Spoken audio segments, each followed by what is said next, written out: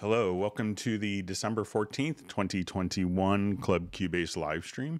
I'm going to do a quick audio test, make sure everything is coming through, and then we'll get started in just a moment.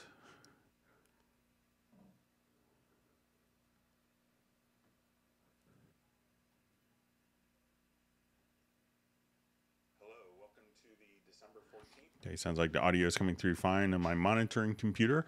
My name is Greg Ondo. I work for Yamaha Corporation of America as a product specialist, primarily focusing on Steinberg products, and I'll be the host for your live stream today. I'm presenting from uh, the United States outside of Washington, D.C. area in Alexandria, Virginia.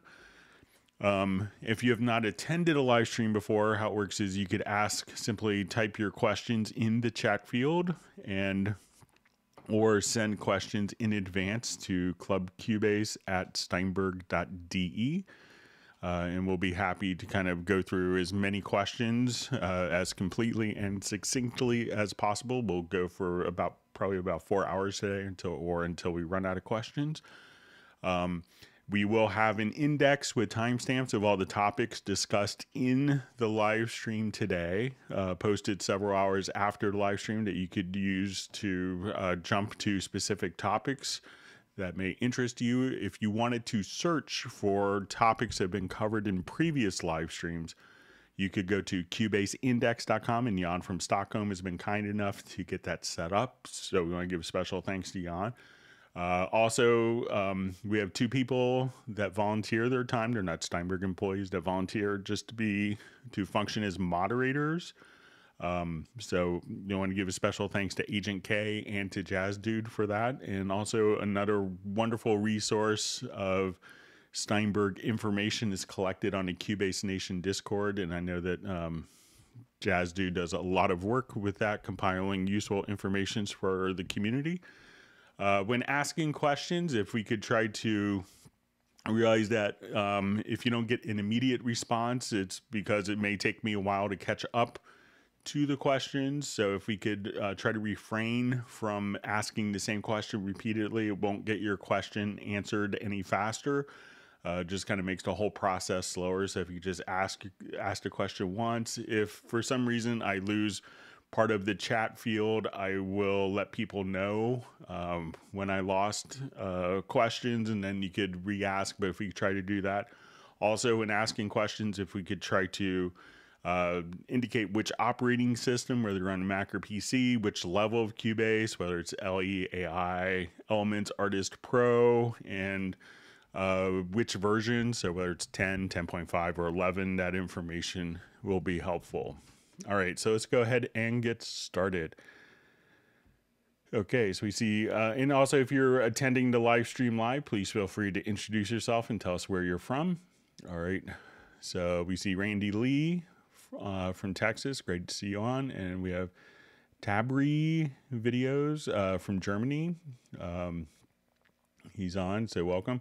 All right, so question. Uh, when used for parallel compression, what is the difference between the direct summing mode and a traditional aux bus group or effects track. Um, so, you know, really when we're going to be using uh, the, so let's say if we go to our mix console, one of the things that is available within racks is a direct routing mode. So we could send to multiple destinations here in a parallel manner. If we just go to this little i this little drop down menu and turn on direct routing summing mode on then we could send to multiple destinations. Now it's really kind of in essence doing the same thing as using your sends. Um, and the reason that it's available is that you know if you wanted to send to multiple destinations, you may be using all of all eight effect sends in a in a complex mix for like your reverbs, delays, flangers, chorusing,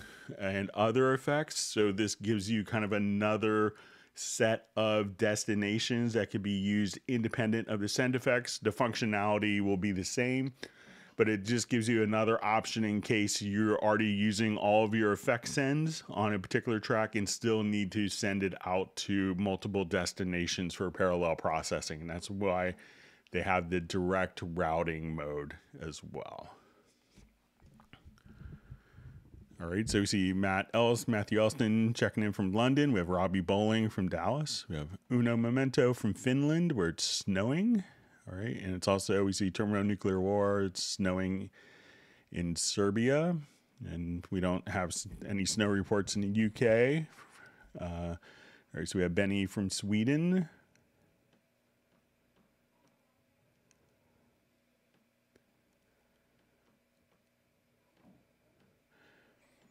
All right, so we just see a question uh, from Benny. Uh, is it not possible to color the tracks on the mixer console? I have Nuendo 10. I could do it in Cubase 11. So I think it came kind of in uh, 10.5 Cubase, so it might only be in. I can't. I don't think that there was a 10.5 of Nuendo. But to set it up, uh, if you wanted to colorize the mixed console channels, so it may not have been in Nuendo 10, but it may have been first introduced in Nuendo 11. But it, if you have the latest version that might have some of the, I think there was a 10.3 that might have the capability, um, or whatever the latest version of the 10 product lifecycle is. But to set that up, we go to your preferences um, let me see if I even, I may have a Nuendo 10 still installed. So I have a Nuendo 10.3 and I'll just open it up and take a look just to make sure.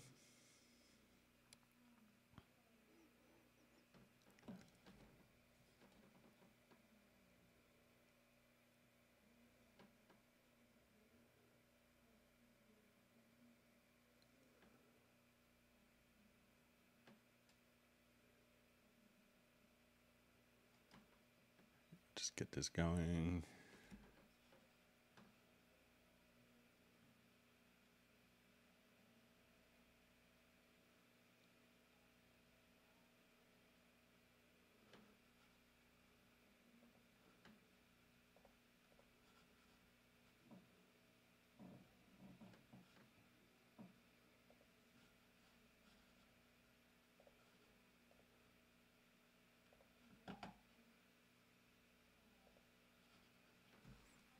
Okay, so colorize my channels here.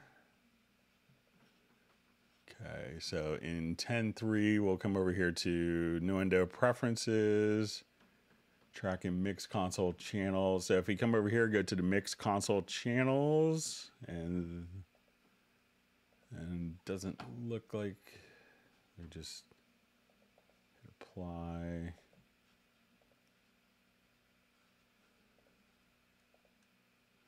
So as you can see now, we can just have the mixed console channel. So make sure that you have Nuendo 10.3 at least installed. And it looks like it is available. All right, so we see Jan from Stockholm. All right. Um,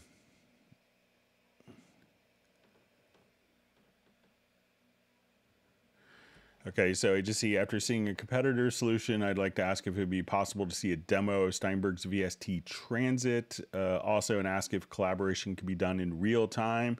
Can it make notes? It's not really intended for real time. So if we come over here to the VST Transit, is more like we want to be able to, uh, you know, download particular projects. Let's see if I can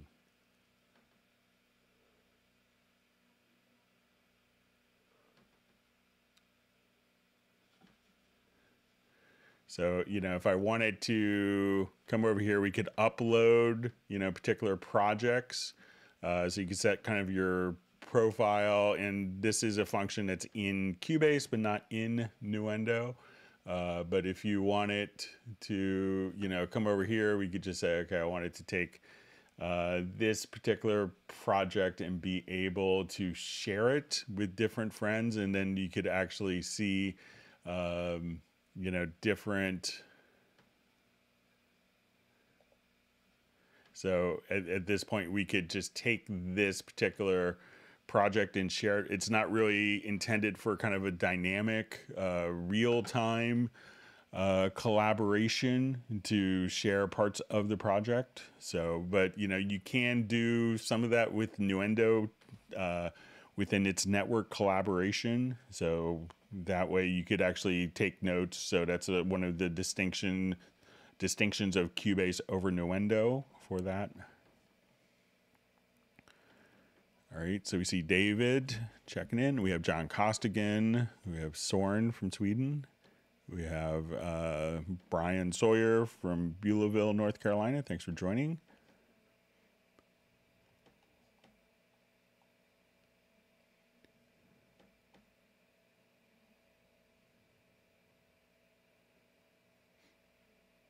We see Jazz Dude on the live stream. We see the Cube, Tim Weinheimer from Mission Viejo. All right. And Tim wants everyone to hit the like button early today.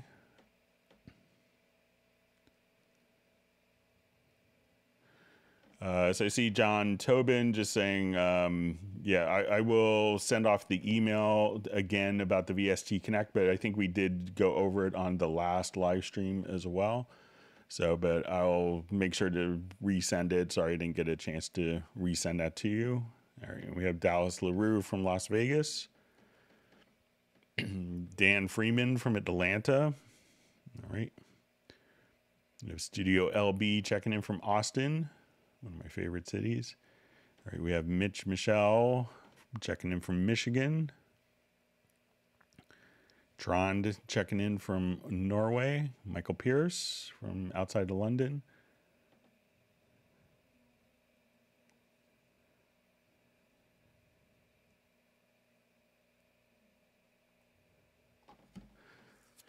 All right, so we just see from uh, Dallas LaRue, sometimes the listen function in control room doesn't always shut off the other track. So one thing to check with that, so let's say if I'm here and I wanted to do kind of a listen on the bass, is just go to the control room and you may have to click on the main tab here. If you click on the main tab, maybe the listen dim level is set to zero. So if I come here, and click on listen, you don't notice it. So make sure that you have your listen dim level set. to just adjust a slider there. And see if that makes a difference for you. So you could just come right over here to the listen dim. So you'd see that. If you don't see that initially, just click on main and then you'll see the listen dim and then just drag that down by several dB and I think a lot of times when people tell me that it's not working, it's this is set to zero dB, and I think it defaults to kind of the same value uh, to zero dB. So.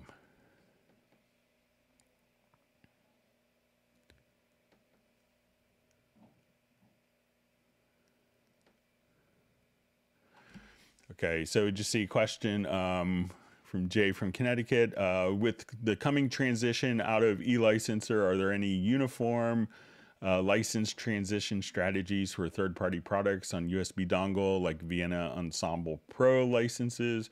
So I think a lot of the companies have already in the process of migrating. You know, there's one company that kind of uh, you know, erroneously kind of sent an email out before the official announcement and you know as you know which is i think might have been an attempt to get a bunch of people to update to a later version. So um, but you know it, it's kind of up to the third party products. You know again if it's on the usb e-licenser it'll still work. Um, so but it's really up to how the different companies are transitioning all right, so we have FA Recording Studio checking in from Bangladesh. Thanks for joining us. And we have Rain from Germany. All right, uh, so we have a question from Thomas Young. Can you go over System Link? I use Cubase 11 Pro. So the, the original intention of VST System Link, which we could set by going into the studio setup, and then we'll see um, our VST System Link setup here is that you know like the old days if you wanted 48 tracks of like analog tape you would synchronize two tape machines. If you wanted 72 tracks you would synchronize three tape machines. So we figured you know especially when this was generated 20 years ago that you know maybe 22 years ago ish that what could happen is if one computer ran out of processing power, that we could have another computer kind of like an kind of like you know very similar in concept to an analog tape machine. And we could connect a digital audio connection like a SPDIF cable uh, an ADAT light pipe a um, or an AES EBU something like that between the two computers. And the two computers could sample accurately synchronize. So that was kind of the original intention. Then it kind of morphed into also sending MIDI data to another computer and having the MIDI having the audio from that MIDI data to just simply uh, be sent back. So we could use the other computer as a you know almost like a VST instrument rack, and there was a software called VST Rack, which was kind of designed just to host VST instruments. Um, so over the years, you know, computers have gotten faster, and a lot of people don't have, you know, it's very common in the early days to have different uh, audio interfaces that had digital connections. So a lot of people have USB connections and, you know, just analog two ins and two outs. So, you know, this works over an actual digital audio connection. So it hasn't been as used recently so a lot of people will also use it, and you could use kind of any version of Cubase. I think even Cubase LE AI will have VST system link capability. A lot of composers use it so that they could, and when you're doing this synchronization, it's sample accurate.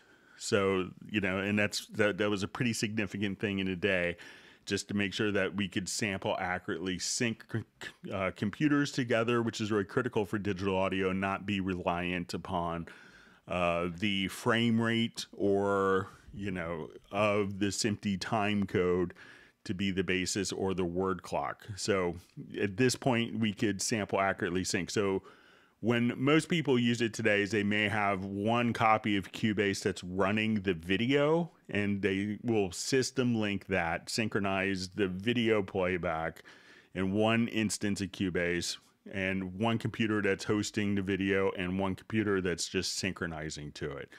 So as people are using VST System Link, it's when I see it being used now, it's mostly for composers that want to have the video offloaded onto a separate computer and yet still have sample accurate synchronization without buying a lot of external hardware to accomplish that.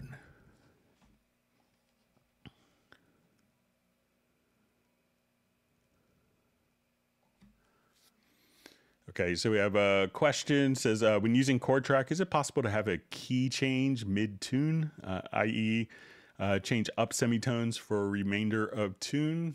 All right, so let's come over here. I'll just add a chord track.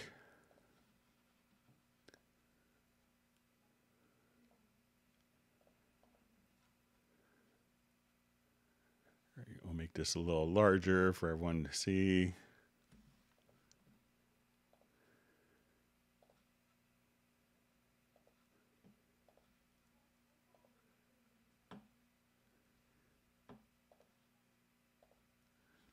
Okay, so let's say we have this chord progression and I've duplicated this a couple of times. Let's say, okay, we're to start it here. Uh, but the third time, I just wanted these chords to modulate up. All you have to do is to select. So let's say I wanted to go up a major second. I could just select those particular chords. And we see from the info line here, uh, we can see root key, and then all I'd have to do is come over here and just say, okay, we want to make it into D, and then we could just modulate just like that. So select the chords here, and then you could just uh, adjust the root key here to do transpositions and modulations.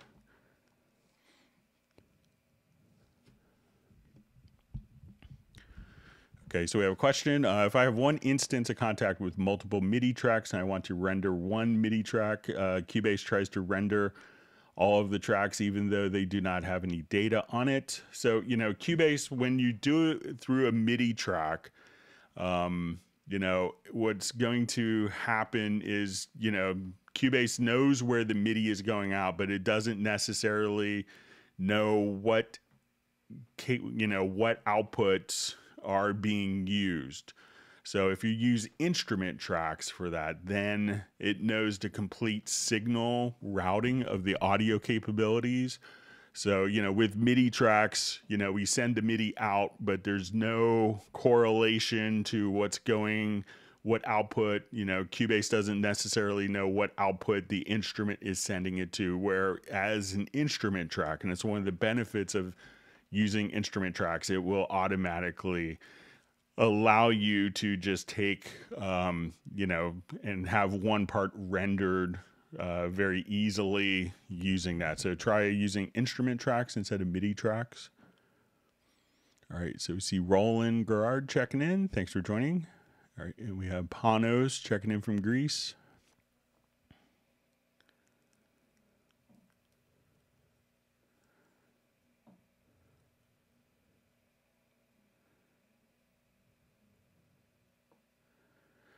Okay, so we see from uh, John says, uh, okay, VST Connect Pro all up and running except QSends not heard by VST Performer and uh, TalkBack working fine. Um, so let's say if I wanted to come over here to my VST Connect Pro,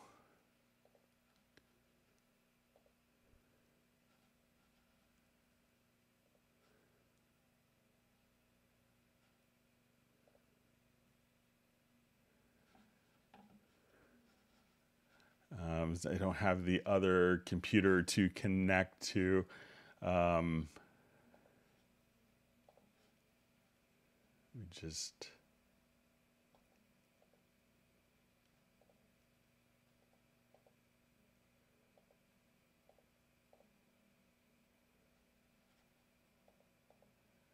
Yeah, I don't have the uh, another computer hooked up to really kind of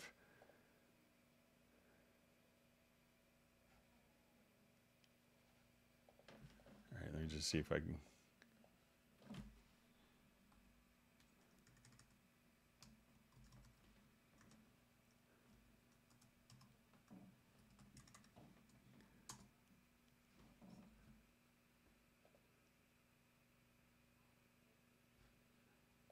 I don't have my password typed in here. Um, but I could, if you want to email me offline again, John, I'd be happy to kind of. There's one little thing that it might be um, but I don't have my other computer set up where I could get it configured to show easily.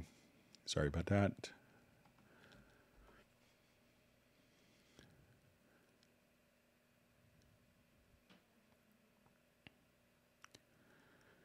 All right, so we see, uh, does Cubase create a log file on Mac and PC? So there is like a usage logger. Um, and I think if you wanted to go to preferences, um,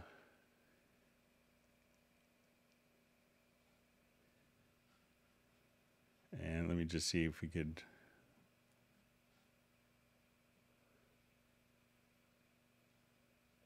I think there might be under like a just might be a preference, but there is like a login a usage logger that could kind of tell you what happens before and after if there was uh, kind of a system instability.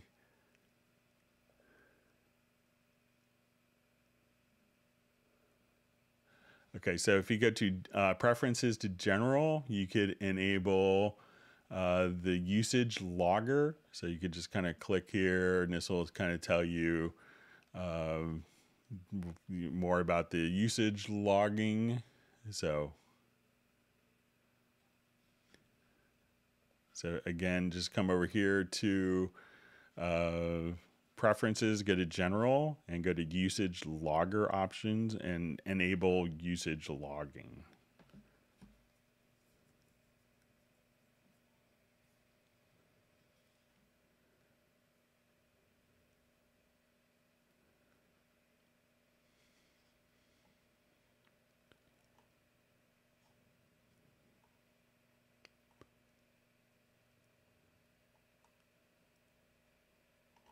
Chat field just kind of jumped.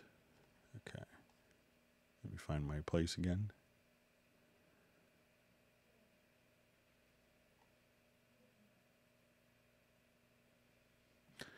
Okay, um, so we see a question. Um, does Nuendo 11 getting an update when Cubase 12 will be released? So, you know, generally, you know, how it's worked in the past, and it used to be like they were very separated and they would take, you know, the new features that were introduced in Cubase, and Nuendo has other features so that it would take more time for them to implement the new features in Nuendo because it was not only adding the newer Cubase features, but other uh, specific Nuendo features. Um, so, so you know, I imagine shortly after Cubase 12 will be released, what's happened in the past is there will be kind of a Nuendo update. Uh, I think the last few years it's been like a month or two afterwards, but the next version of Nuendo hasn't been announced.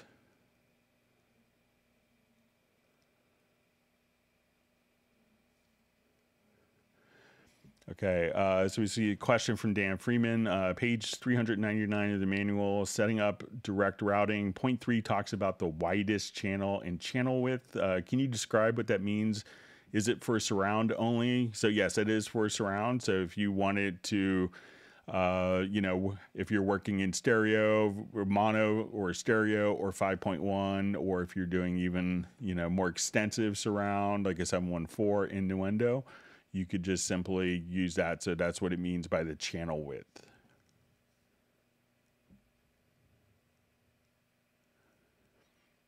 All right. All right, so we have Pablo Vasquez from Galicia, España. Glad you can make the live stream.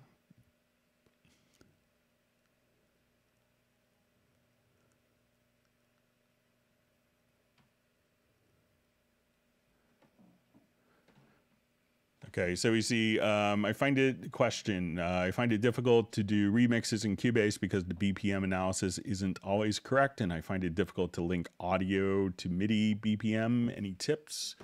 Okay, so we'll just try here with a quick project. So I'll just say if I want to do like a quick remix, um, I'll do something horribly musically inappropriate.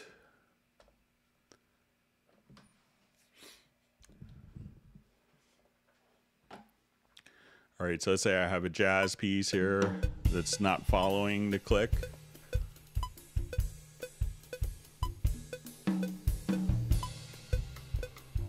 So I'm going to select it, go to my tempo detection.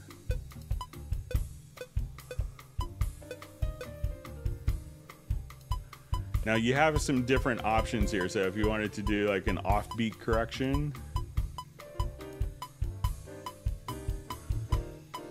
Now, as we work with this, we may notice that as we've done a tempo detection, that you know it will automatically place the signature. It's kind of figuring out what the beats are, and it will place it into a meter of one four. So you may have to define kind of where the downbeat is in the project. But you know, once you've done the tempo detection, it's set up so that you know once uh, you know we close this window, we're in the tempo warp. So as you listen to it, you can just come over here and the tempo that you know we, we see our time warp tool is active. And what this is going to allow us to do is just to say oh this is where the downbeat is here.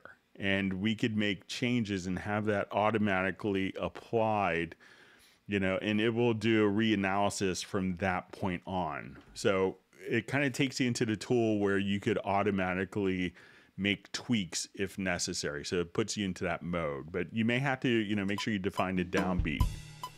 Like here we have some pickup notes. I could say, you know, measure four, start measure the downbeat is right there. So as we do this, and if I wanted to just kind of drag different loops in, um, so let's say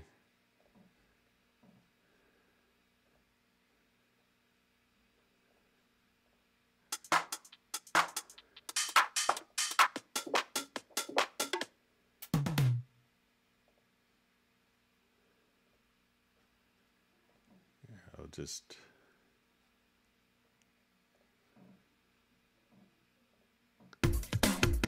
So say I just want to drag that in. So now once I've dragged this loop, I could select it and put it into uh, musical mode.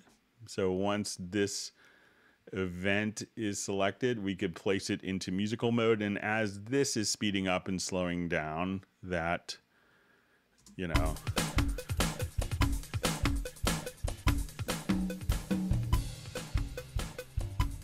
that now this loop is automatically following because it's in musical mode that it's automatically following.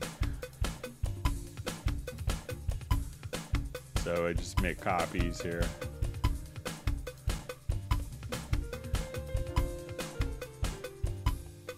So this loop is dynamically following the tempo of the tracks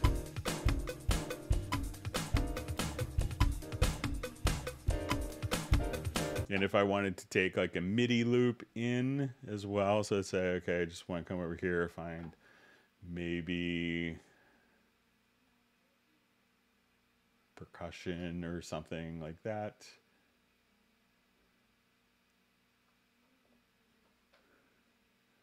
Which would be MIDI.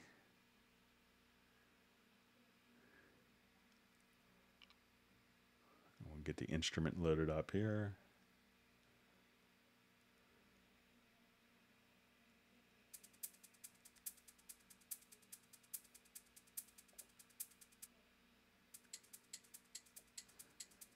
Okay, so now when I drag this over, um, this MIDI will automatically line up as well. So I'll just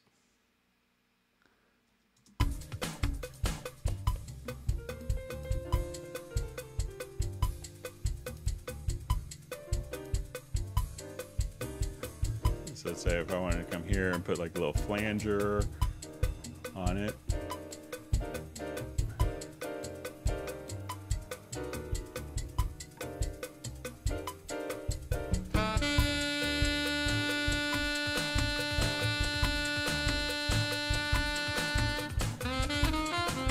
That works really well. But you know, if you you know listen to the tempo detection, you know it does a really great job. But you know, it puts you into the time warp mode so that you could make changes and tweak it if necessary.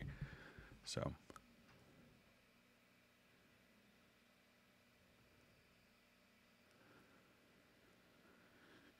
All right. Um, so you see, what is an optimal way to take a score slash file created in Dorico for the iPad and bring it into Cubase Pro? So I believe you could just simply export it. Um, you know, there's two different methods. I believe that you could export it. I haven't personally tried this, but as a uh, MIDI file. Um, and that would get all the notes over with the controller data. If you wanted to carry over, like, you know, the slurs and the graphic appearance, more like a picture of it, at that point you could uh, uh, export it as a music XML and import it. You'd probably have better uh, if you wanted it to play back. Uh, you probably have you know better options for exporting a MIDI file and importing that directly into Cubase.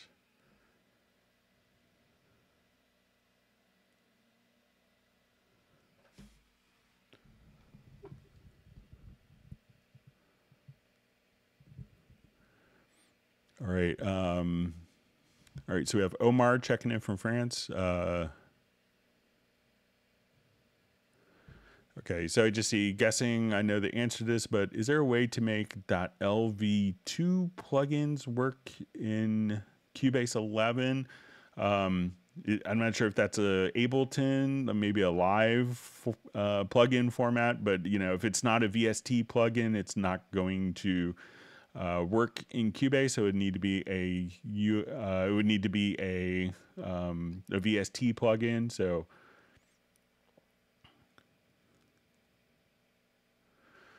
okay, uh, so we have a question. Um, how do you make the best usage of supervision during production? So a lot of times when I'm kind of just working on stuff, you know, I may have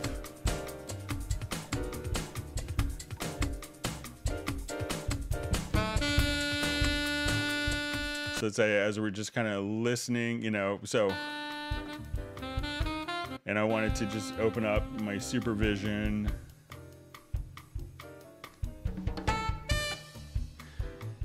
So I'll just pop over here to my inserts.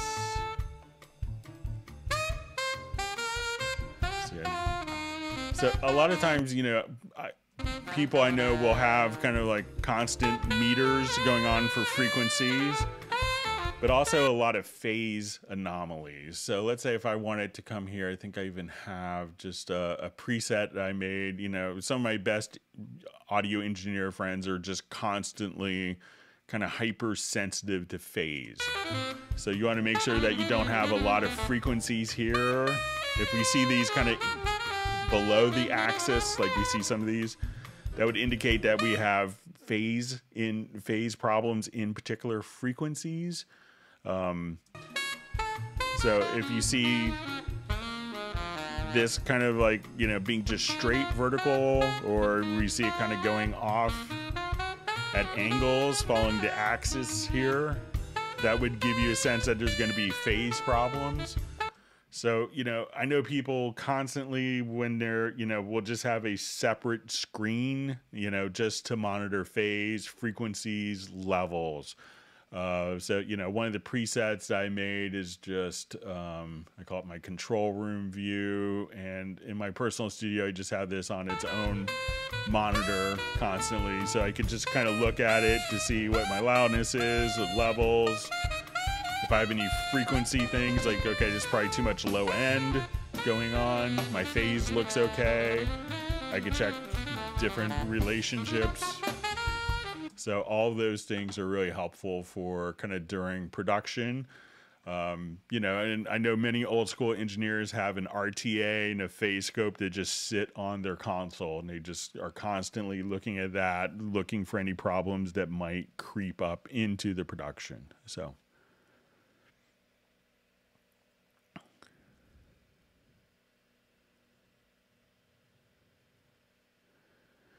Okay. Uh, so we had a question. Can you show how composers generally use process tempo and why? Okay, so I'll just do. Let's say I have my tempo here and I want it to. Okay, so I'll just kind of select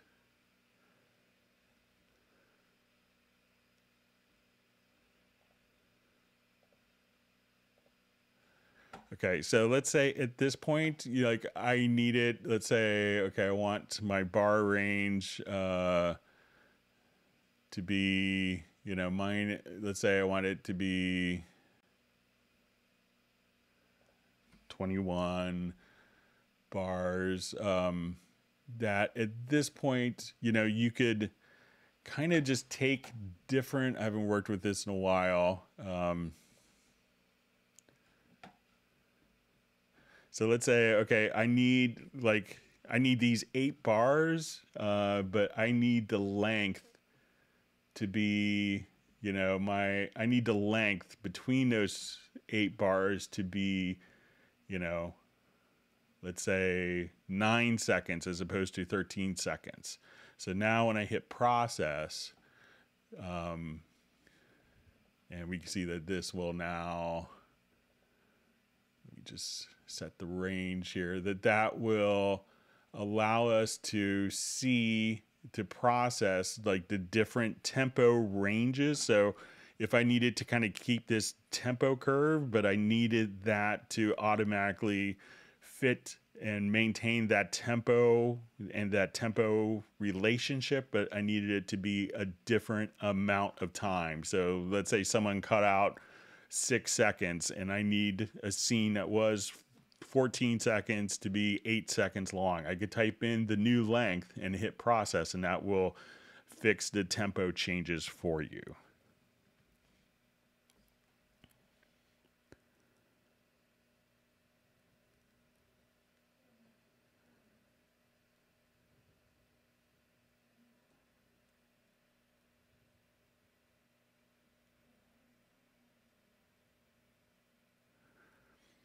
Okay, so I just see uh, when I'm using short keys, uh, so it's the question when I'm using short keys to switch tracks or start stop and other various keyboard moves, uh, it seems to also change the screen size and open different things like the sends and other functions. Um,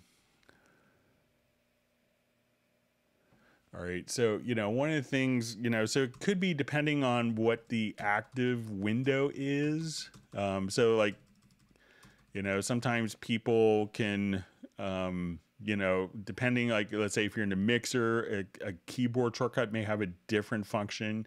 If this is the active window versus the project window being the active window. Um, so it could be something like that with the navigation keys to kind of mitigate this. I think that there is a preference that you may want to check. Um, I think it's maybe under editing, like up down navigation keys uh, for selecting tracks only. So that may be something to check, and that's a preference under editing and see if maybe that changes it. But if you could let us know, like if there's particular keys that or functions that are popping up all the time that um, that you're accidentally triggering, we might be able to trace it back.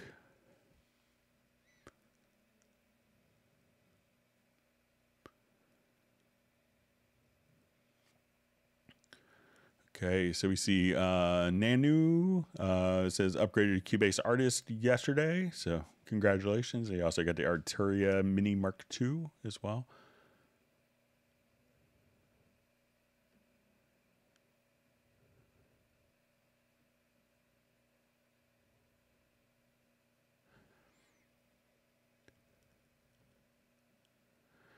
Okay, so I just see uh, from Nanu, uh, how do I show the keys on the step editor, like E, C, F sharp, etc., without mouse over? Um, so let's say if I'm here on this particular part, um, all right, so here we could see, like, I think it's maybe the labels on the keys. So let's say if I just zoom vertically, so depending on the vertical height of the parts. So if I hit like Shift G, if they're kind of the vertical zoom is very small, we don't see the pitch indicated, but as it gets bigger, we could see the pitch indicated when it's kind of a little larger. So see if that makes sense.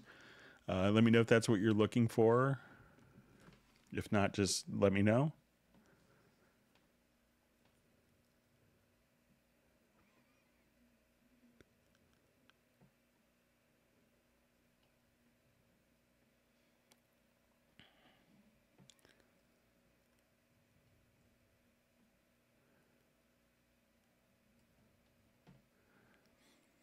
Okay, so we see a uh, question, is there a way to have different mix versions within the same project, like a vocal up version and a vocal down version? Um, so if you have uh, different projects here, I, what I know some people do is, let me just open up uh, something with vocals in it here.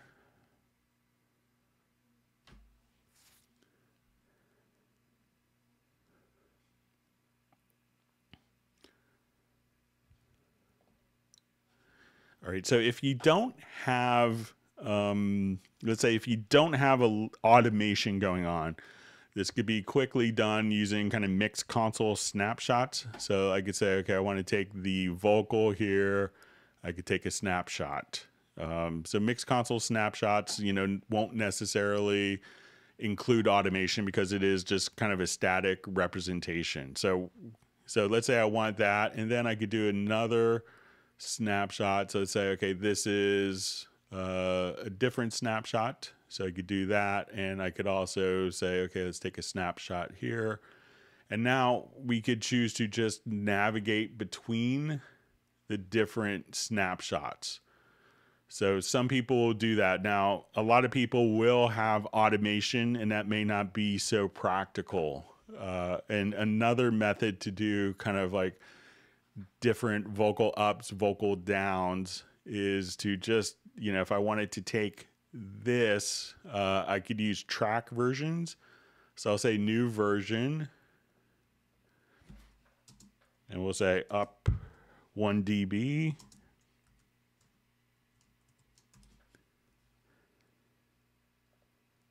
So let's say, uh, first off, what I want to do is I'll just duplicate that version And then I could just come here and say, okay, we want to make the vocal up 1 dB. And I could duplicate this version. And I'll call this down 1 dB. All right. So now as I kind of switch between these different takes, I can say, okay, there's that one. Here's down 1 dB.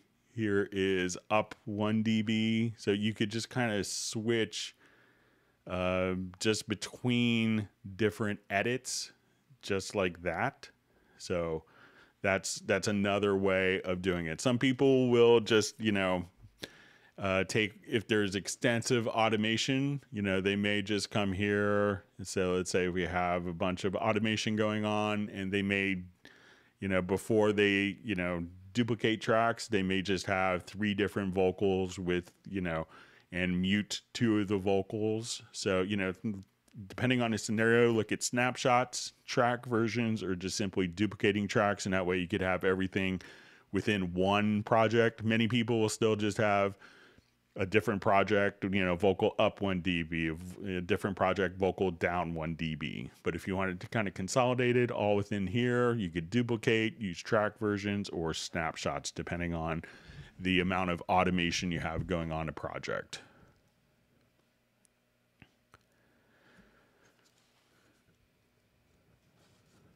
Okay, so we have a question. Uh, are there disadvantages to use the musical mode? You know, so if you do extreme changes with musical mode, you may hear some artifacts. Like if you take a, a loop that's at 120 beats a minute and play it at 30 beats a minute, it's gonna, you know, it may sound a little bit sonic. The sonic integrity might be affected, but if you want the audio to fit into and follow the project time and the project tempo, uh, then you know musical mode is the way to do it. So if you need to make an audio that's a different tempo or different speed fit into another project, you know musical mode is the best way to do it.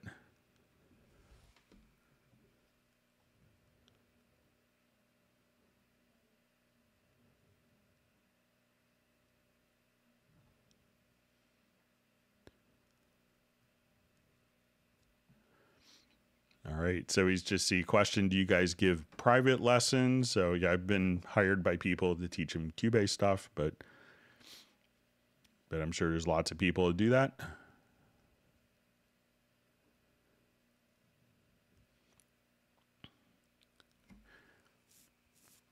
All right, so we just see will Cubase ever add live looping into the program? Um, so, you know, we can't really speculate on new features that will be coming, but it, you know, so but we'll pass it on as a feature request.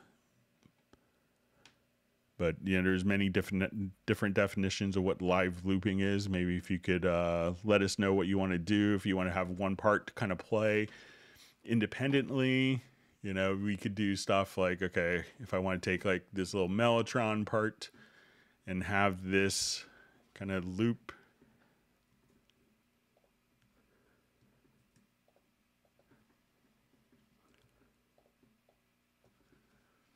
um, that we could come over here and I think that there is a special so if we go to the independent uh, track loop.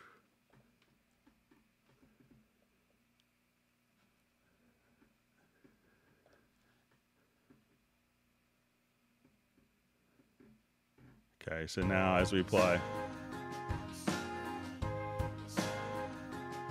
So now you just have this part.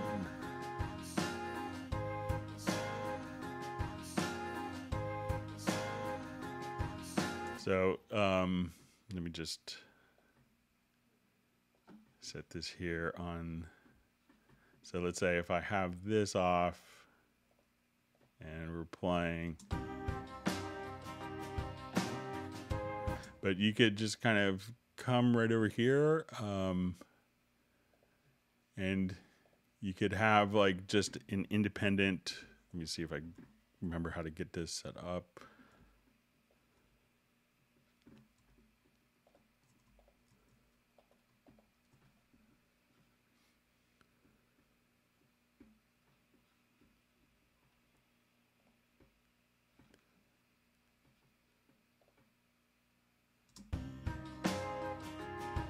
So now we could have this that MIDI part just constantly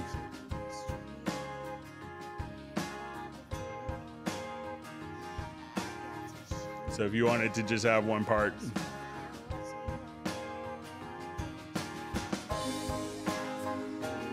So so that way you could do one part that's continually looping live while you do other stuff.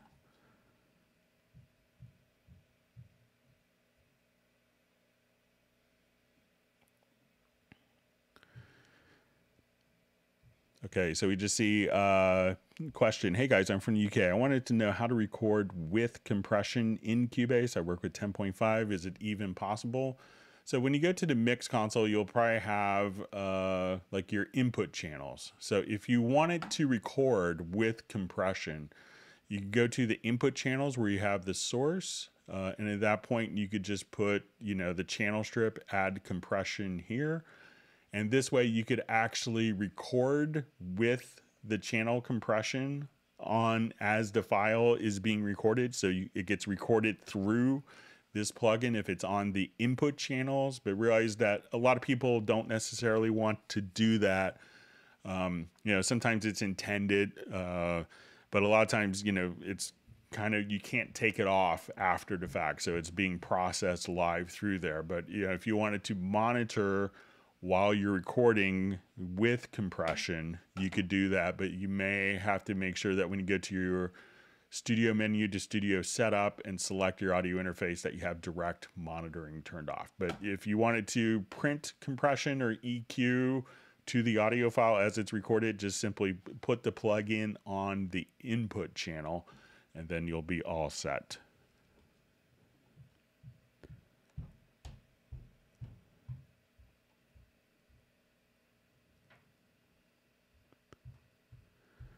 All right, so I see uh, what Cubase version is this? I'm running 11.041.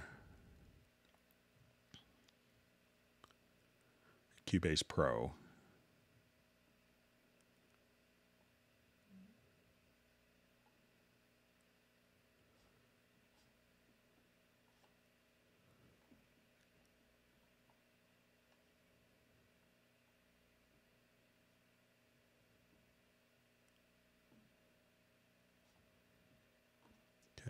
My chat field jumped.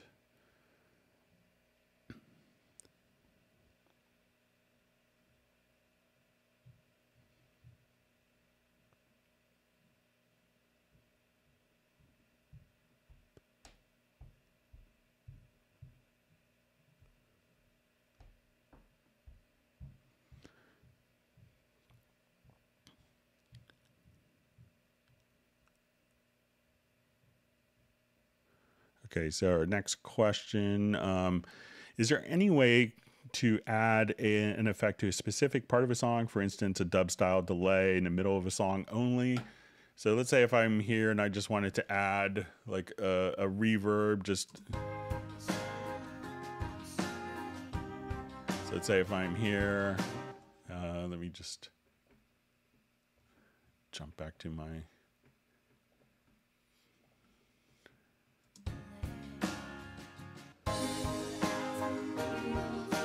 So let's say I just want to take this. Oh, let me just revert it since I've destroyed my. It's such a good song. I don't want to do that to Vince and tarnish it for Sable's upcoming version. All right, so let's say I wanted to just put. Stop asking Beatles or Stones. Just leave it alone.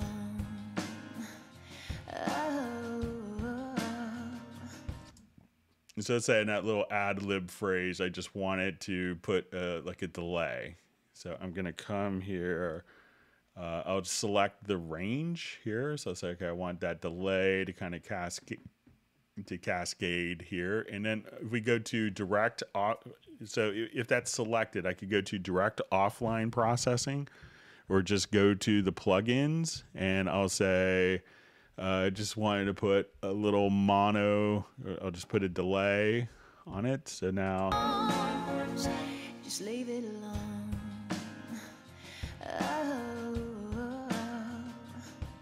all right. So let me just do that again. So I'll just come here to plugins, uh, default delay, and I'll say mono delay, and we'll make it just a, a dotted quarter delay. So as we do this, and we could add a tail size if we want to. So just leave it alone. Oh.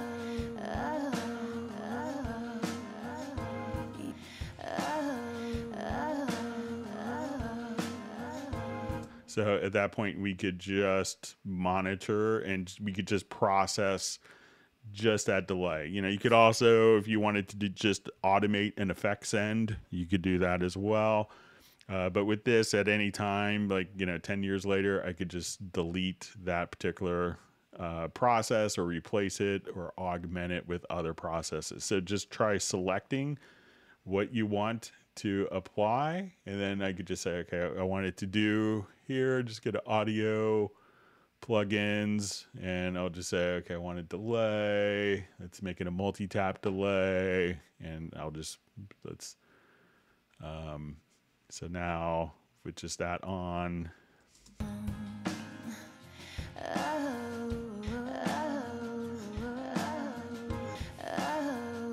and let's say as I do this now.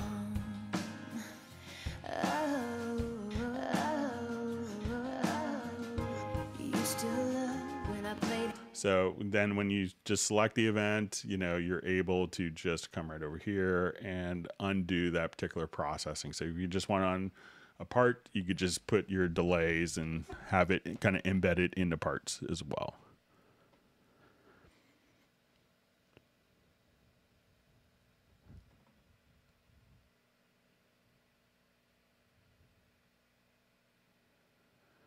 All right, so we have a question. How can you maximize the amount of RAM that is uh, used to stream virtual instruments? A lot of times it's going to be in the instrument itself.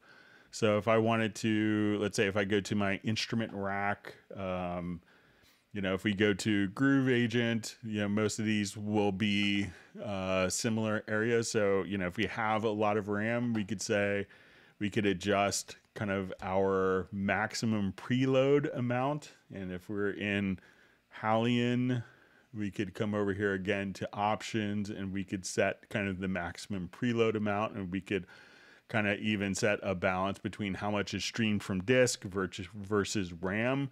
But if you have more uh, memory available, you could just increase that maximum preload. So that's how you could kind of organize your memory usage. So it's going to be generally on an instrument by instrument basis.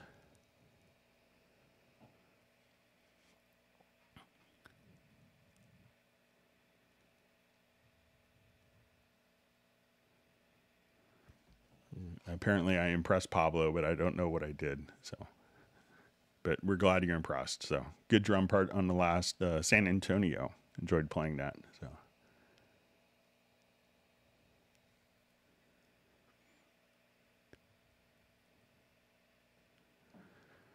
All right, so we see uh, is the stream delayed? Sometimes I don't see the questions, so the uh, my ability to keep up in real time with questions is always a challenge. So, uh, so sometimes it might be like you know at times sometimes twenty to thirty, sometimes forty minutes. Uh, uh, by time I get to questions that were asked, there's obviously a big splurge of questions that were um, that are asked at the beginning, and I try to catch up.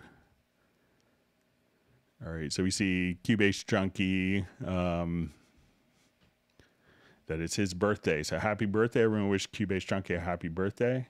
And Pablo has granted him a Nuage controller by Yamaha. So that's good. I miss having mine.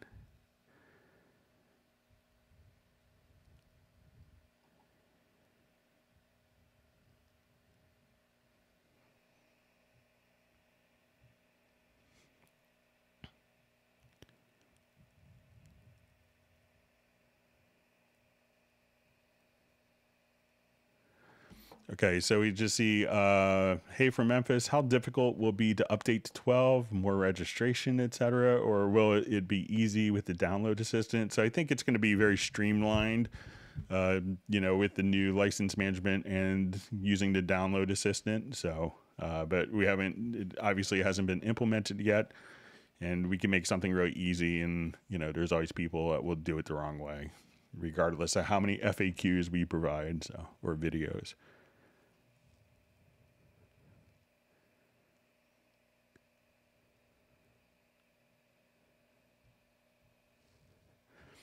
So we see from Steven, uh, so it says, Hi, Greg. Using Cubase, is there any way I can normalize myself so I can get a girlfriend and leave you alone? You got the best offering on the web with these help sessions. Merry Christmas. So thank you for that. So, but just, just keep, keep watching and you'll be so successful that all the girls will want to date you. So.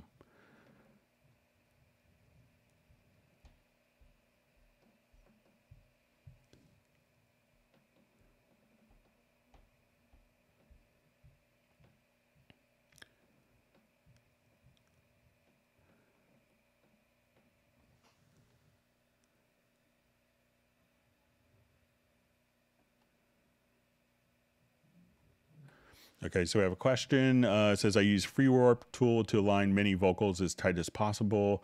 Uh, but when I open the Cubase project again, some changes do not persist, some do.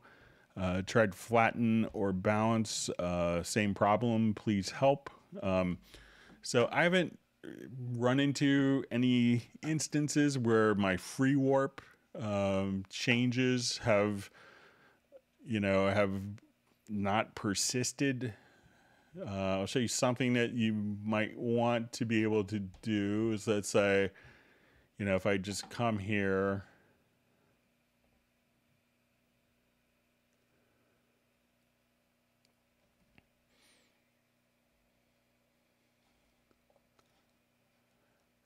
All right. So, you know, a lot of times, you know, when I'm doing like pretty complex editing, you know, at that point I may do, you know, uh, different track versions so that I could always jump back quickly. So if I wanted to take all these, um, so let's say I could just do a duplicate version. And let's say if I do kind of all of my uh, editing on this particular one, so say if I just have now double clicked and I'm in free warp and I'm putting in my warp markers here. So let's say.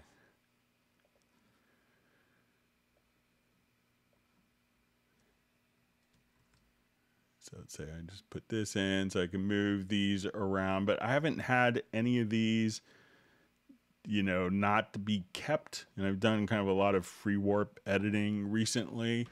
Um, but you know but once you have it as kind of like a different track version. So maybe at this point if you know if you've done a lot of editing you know maybe it's just to duplicate versions and then you could always you know go back to the original to you know and this will stay save kind of a different instance. But if you have like a particular project that you're noticing and sometimes i've seen where people you know will copy a background vocal and maybe take one recording and pan it um, you know, left and you know, like hard left and hard right, but it's the same file, but it's duplicated here. And then when they do warping on a file, um, that, you know, maybe as they do warping, depending on the editing preference um, of so if we go to editing audio and there's a preference for uh, on processing shared clips that you create new versions. So I've seen some people that will do different editing on you know what is the same file and get conflicting results with that. So that's something where you know it's you know you you copy this over and you do editing but it's the same file that you're kind of warping that it's not creating a new version so that may be something to check is this preference. But if you have a particular project that you find that happening to, please feel free to send it to me at clubcubase at steinberg.de.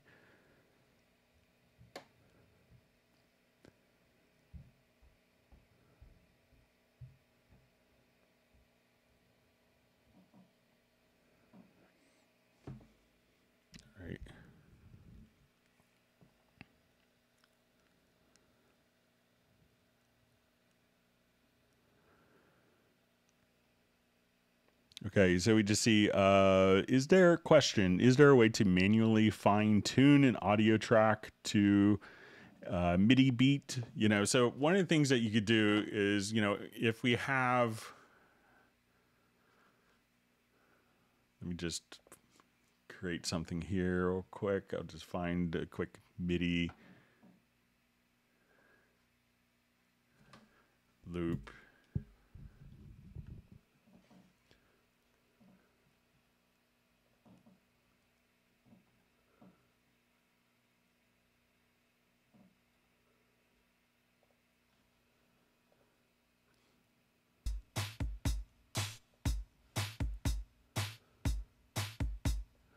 All right. So let's say, you know, if I have, you know, a,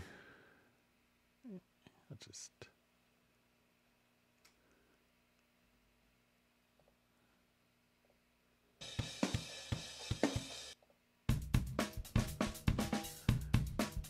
all right. So let's say if I have, like, you know, this particular pattern and I want it to apply, if we go to the quantize panel, I could drag this in and now when I come over here, if I have this quantize set up, we could just now hit Q on the audio file and that will, and it was pretty subtle here, but if I just want it to now, when I hit Q on this audio file, we'll see that it will shift based upon the timing of the MIDI part. So that's one way of doing it, you know, and you could also just always come over here and as you do kind of the warping we could just say, okay, I want to put this warp point here, and you could kind of manually align stuff as well. But try just taking the MIDI stuff and drag it into the quantize panel, and that will make a groove preset. And then from there, you could apply that to other audio files, to other audio files.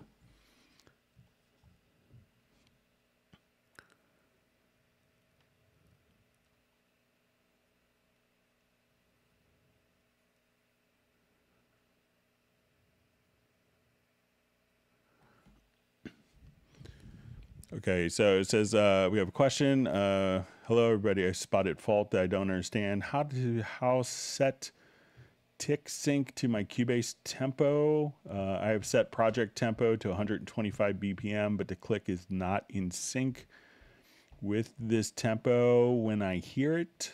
Um, okay, so let's. I'll just do new project.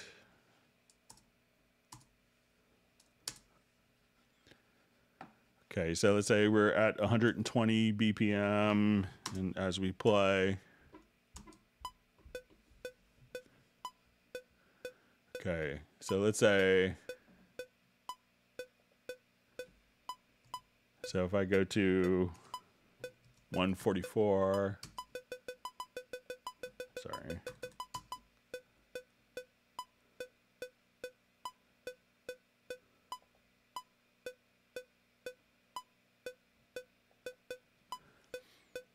So, you know, I wonder if there's a, let's say if we have a tempo track.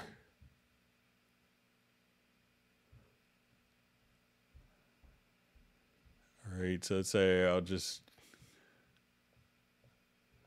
let's say we now have, I'll activate my tempo track and let's say,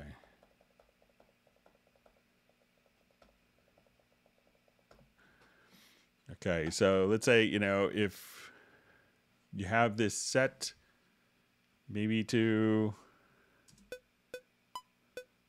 you know, so if the tempo track is deactivated, it will not follow the tempo changes, but you still kind of see it. Um, one thing to check is, let's say if we go to uh, your click patterns, you can make sure that you know, you don't have kind of like an odd click pattern where maybe it's just, you know, sounding like in quintuplets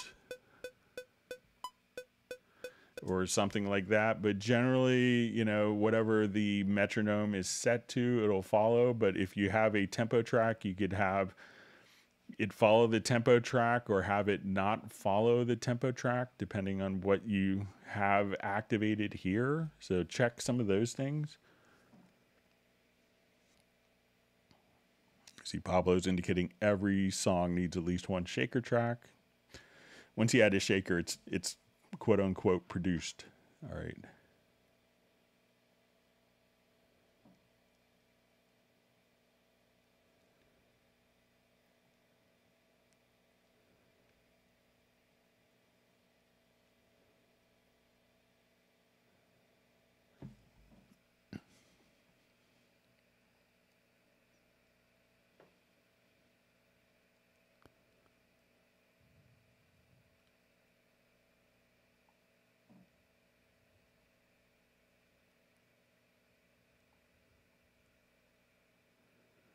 Right, so Cubase uh, Junkie wants people to like the video, so make sure you hit that. And it's his birthday, so we'll have to comply.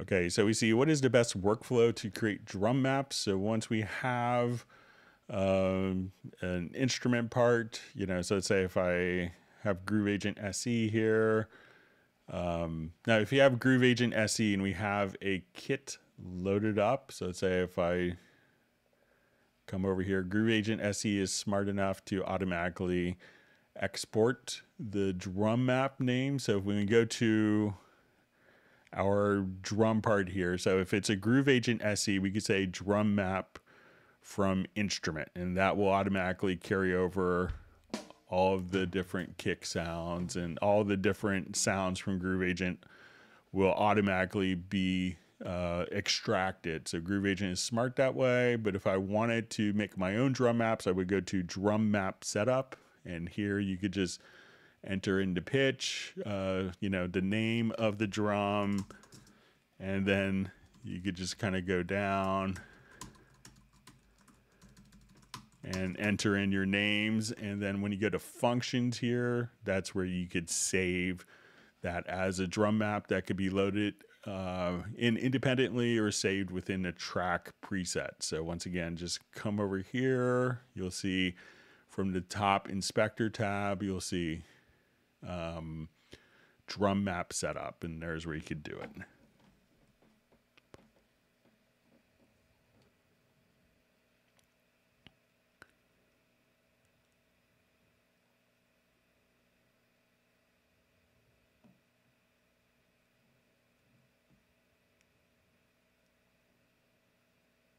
All right, so we have Michael Teams checking in from Weatherford, Texas. Now I believe the virtual ice cream will start.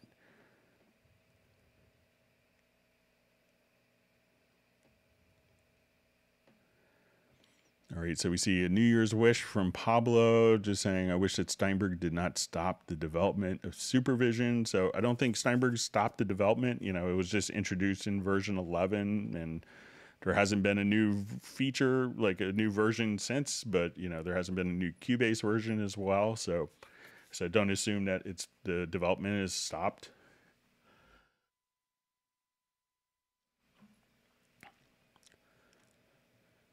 All right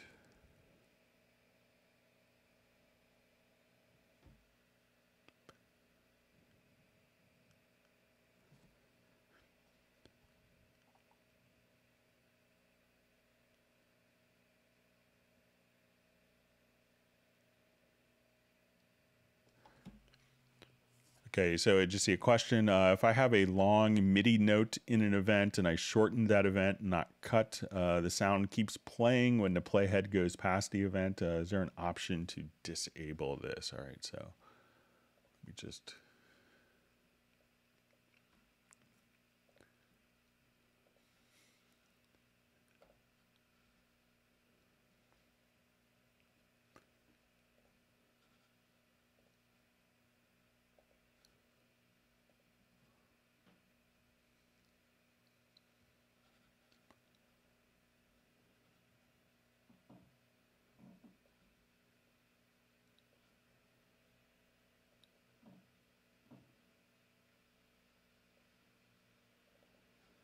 Okay, I'll just load up a quick patch here.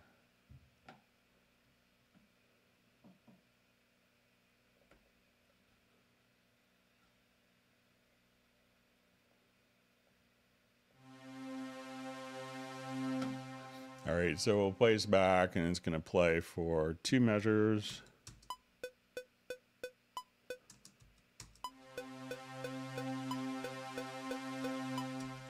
All right, so I think if we now shorten the event, that as we look at the note here,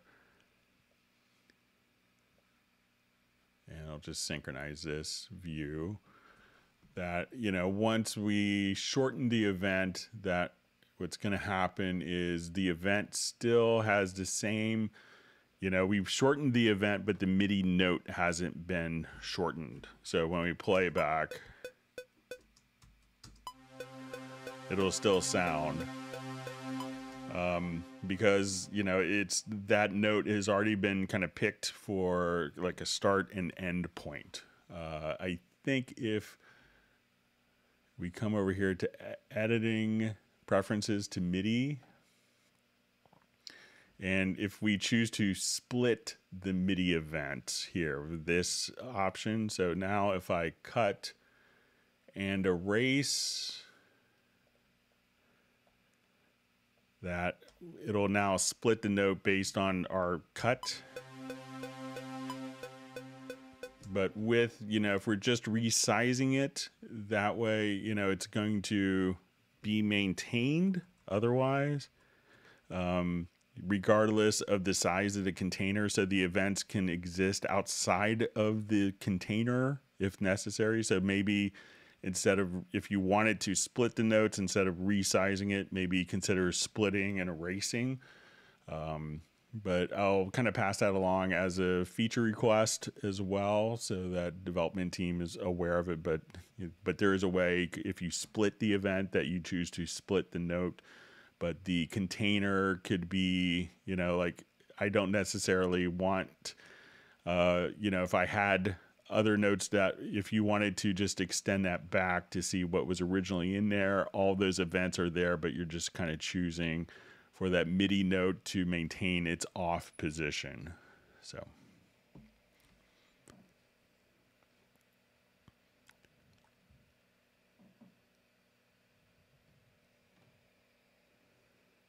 There you see Pablo's very happy to get ice cream from Michael Teams.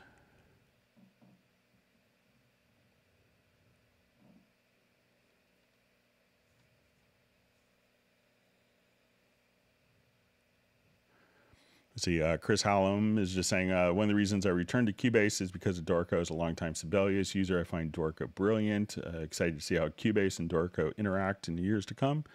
So, yeah, I think there's lots of wonderful things going on with both teams, and we're glad to have you as a Cubase and Dorico user.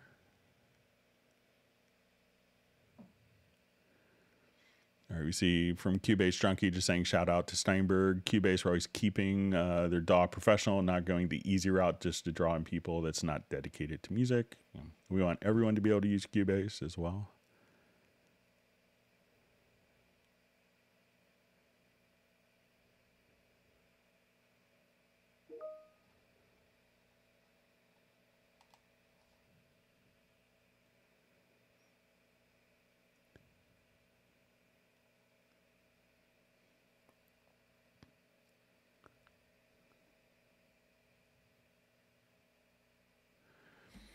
So we have a question. It just says uh, if I have a track with a compressor on it and it's sidechained to another track, I want to copy that compressor over uh, to entirely new track. Is there a way to have the sidechain copy with it? No, this the connection of the sidechain uh, doesn't follow the plugin, but the sidechain goes to the particular track. So it's not necessarily following the plugin, but it's going this it's a it's a routing to a destination is what the side chain is doing.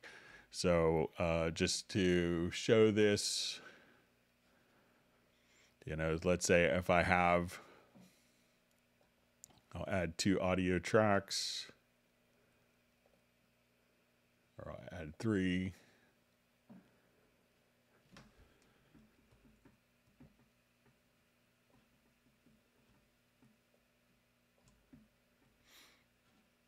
Okay, so say we have this uh, track. So now if I go to my inserts and I do compressor.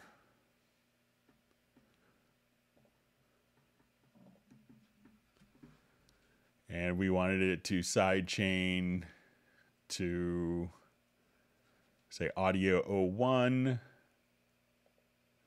you know what's actually kind of maintained when we let's say if i come over here to my mix console and if i copy this plugin you know the side chain is we just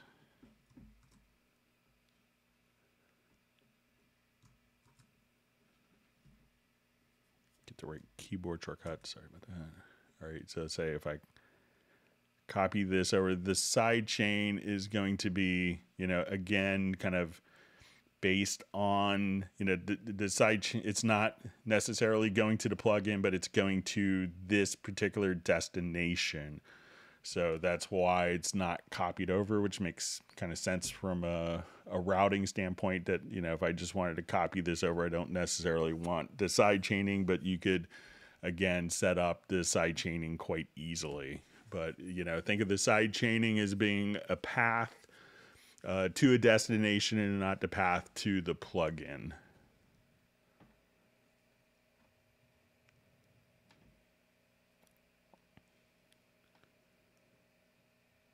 All right, so we have Rob checking in from Tarpon Springs, Florida. Thanks for joining the live stream.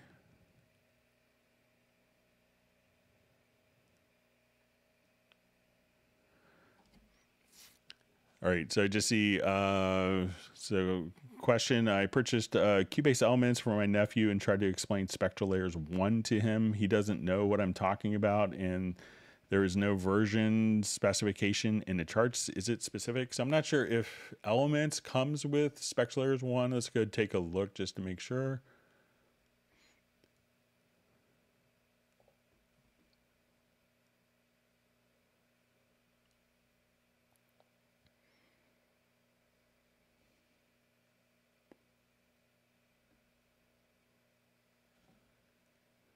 Just come over here to the download assistant.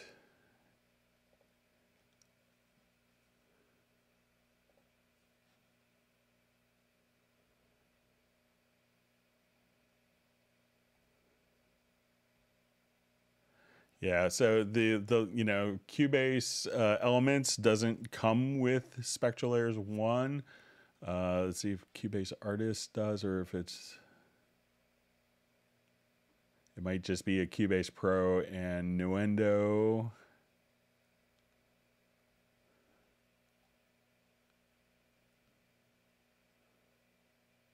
Yeah, so I think it's just going to be Cubase Pro that comes with it. So that may be why your nephew might be giving you uh, strange looks.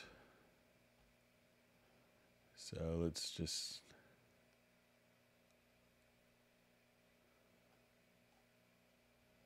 Yeah, it said SpectraLayers one. Right, let's see if it's. Uh, it comes in artist as well. But yeah, not in elements.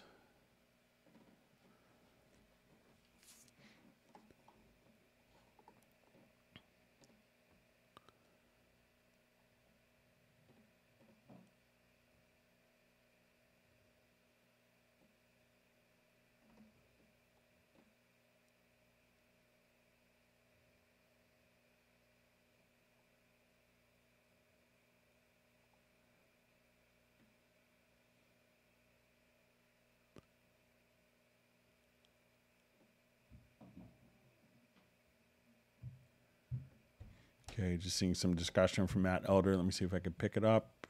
Um, it's great to see Mark Rabin on the live stream as well.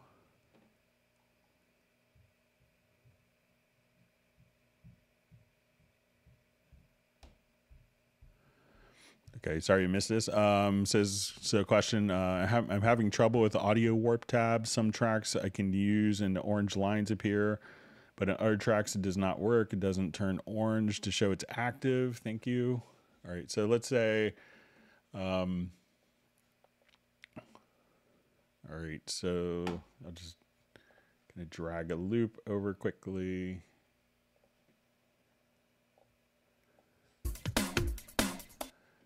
Okay, so now when I come here and so let's say if I go to my audio warp and free warp, um, so you know sometimes often if we go to you know it, it could depend upon it might depend upon the hit points as well. But let's say if i'm here and i double click i'm in sample editor uh, and we go to hit points. So try just to come here you know so sometimes when you record in cubase can automatically detect hit points.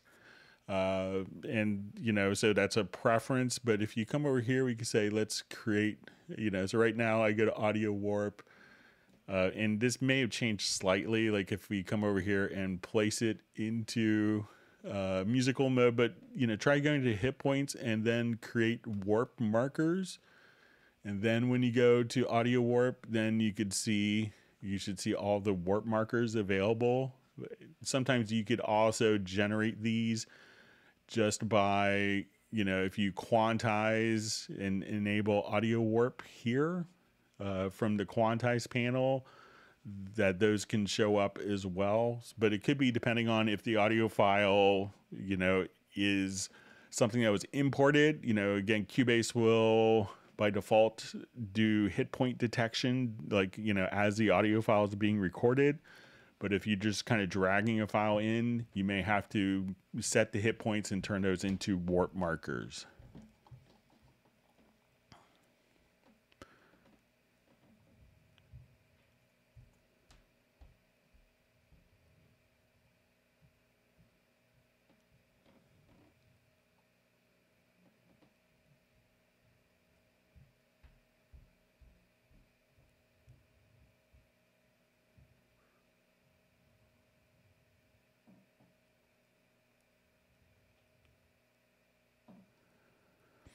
Um, so you can see, I just see a question. Uh, is there any plan to make public beta versions of Steinberg products like Cubase? So, you know, there is a testing process that goes on.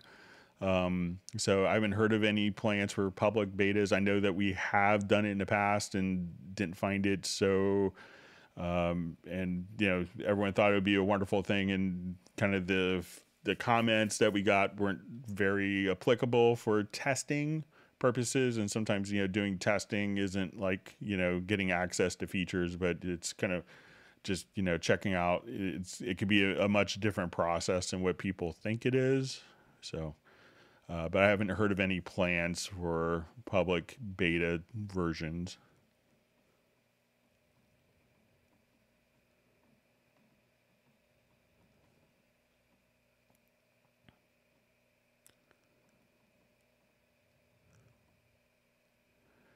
So we just see a comment. Uh,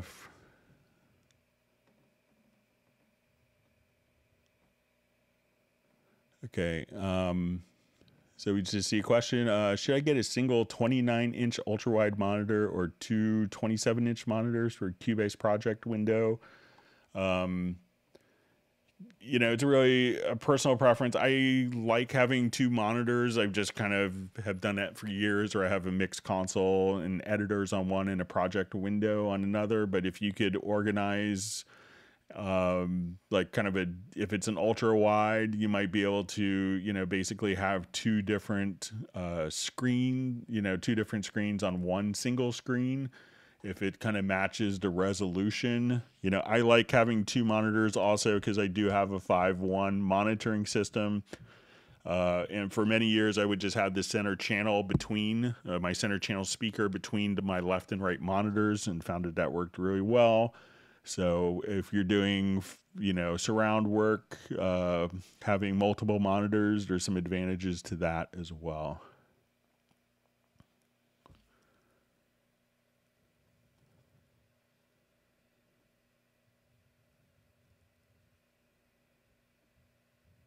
See some discussion of different tape recorders. Um,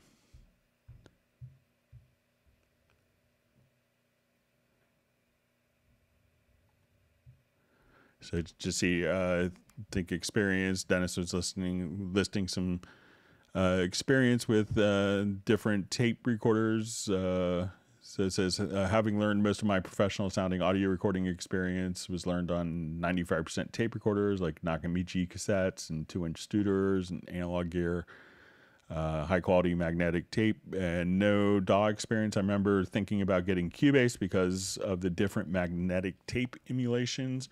So if you wanted to, you know, there are, you know, Steinberg was the first company that actually did a uh, analog kind of magnetic tape uh, plugin called Magneto. So if you and you could actually apply this to an input channel, but every single tracker will just show it to you here. Um, so you could actually print through this. So let's say, and it's going to be found under distortion, and you'll see Magneto 2. So you can have physical modeling of analog tapes where you could adjust kind of the output frequency, the high frequency adjustment if you wanted to, the amount of saturation. If you wanted to be in dual mode, which is kind of going through the uh, the process twice, like kind of playing back, uh, you know, through like you know maybe like uh, two stages of the analog. So, but that's a, a, a wonderful plugin for that. So I came up from you know two inch Studer and Otari machines as well, but I was always the guy that had to do all the tape calibration in the middle of a session, so I don't miss that part.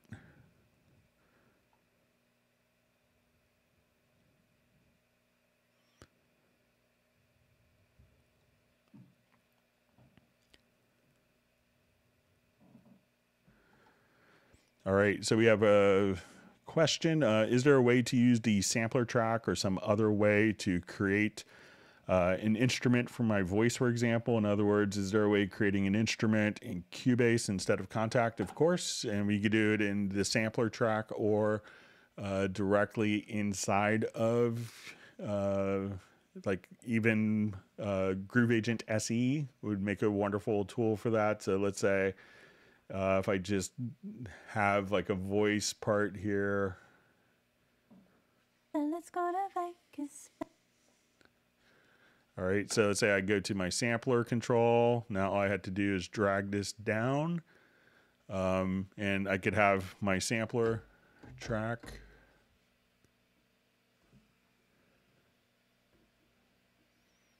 And I could just have this. Hang on, I have to turn something off in my office.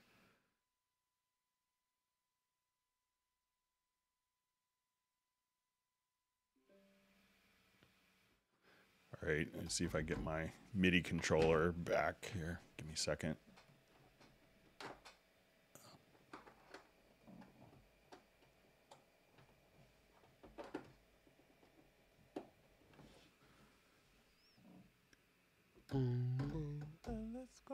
Let's go to, and let's go to, and let's go to. And let's go to let's go, and let's go to. So as I just want to come here. And let's go, and go to. And let's go to. And go and go. So now I could just kind of play directly from there. And, you know, once I've done this, we could also just put it into uh, Audio Warp. Uh, and then once we activate uh, audio warp, we could say, okay, I just want to put it into music or solo mode. And I could now.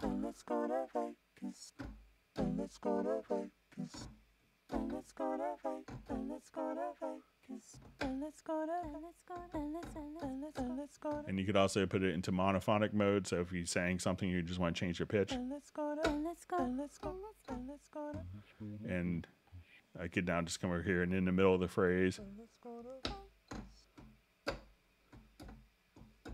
So you could do stuff like that. But it also, if we had um, Groove Agent, so say if I just want to come here to Groove Agent SE, which is included, um, I could just drag and drop that sample. And at this point, uh, if I just go to pitch, I could say, okay, we want to set our pitch range from C1 to C2. And now, like any notes that I play,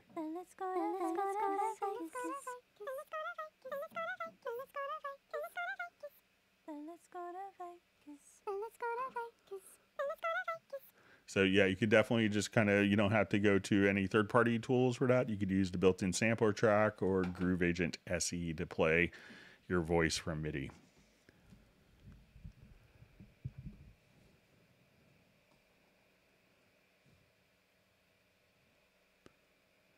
All right, so we have Schrader Brothers saying hello. Thanks for joining the live stream.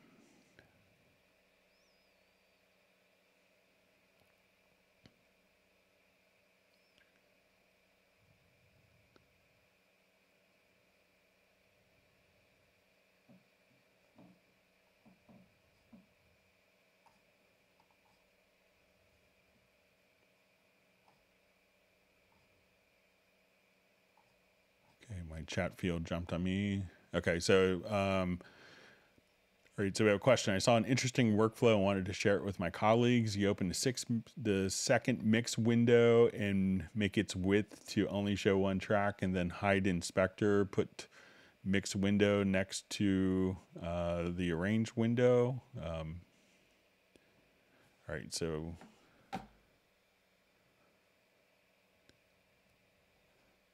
All right, so take a look at this. Let me jump back to a different project.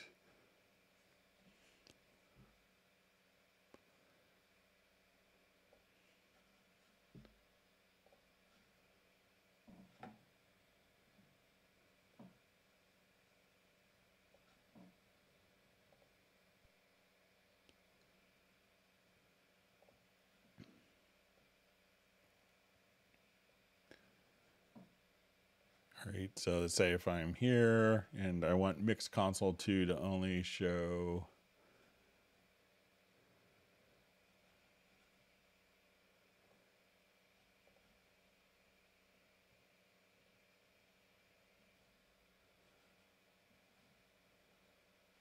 So now as I, let's say if I have this over here and I move this window at whatever channel that I have selected. So I'm not sure if that automatically updates, but you could kind of see everything uh, for that one particular channel right there. Thanks for sharing that.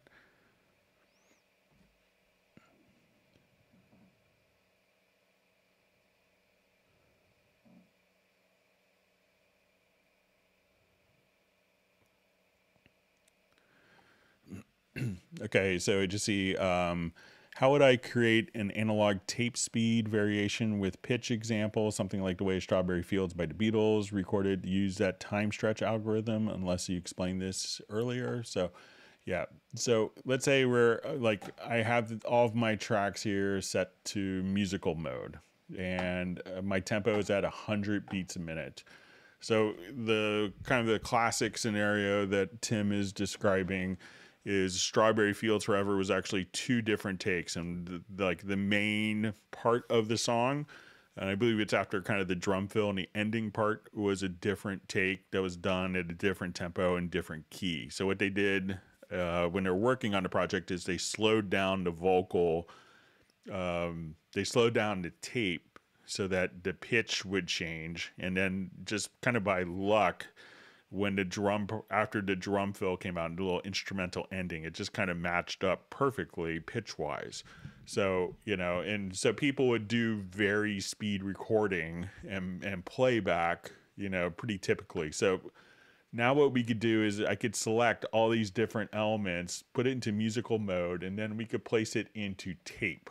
So if while we're playing as I adjust my tempo down, let's say to 90 beats a minute, this will simulate the from 100 to 90. This would be like slowing down a tape machine 10%. So the tempo changes and the pitch changes accordingly. So if I go 80, we're slowing down the tempo and the pitch 20%. So this is how you could do kind of vary speed recording uh, and kind of do that. So once again, make sure that all the tracks are selected, that you're in musical mode, and then you could switch the algorithm to tape, and then that would be all you have to do. So now when we change, you know, if it's not in tape, the speed will change, but the pitch will stay the same. But if you wanted to mimic a vary speed or, you know, then you could just put it into tape mode.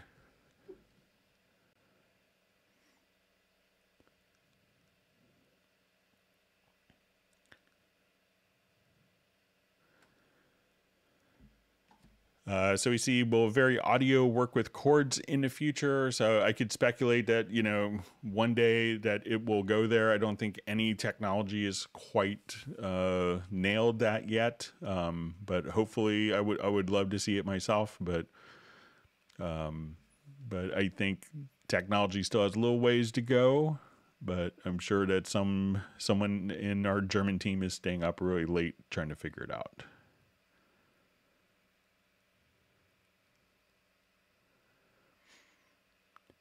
Okay, we have a question. Uh, under media in the right zone, there's a section called pattern banks, but I can't figure out what MIDI information is that's playing the pattern. Can you show what it's intended for?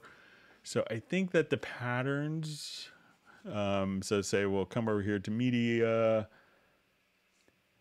and let me just pattern banks. Uh,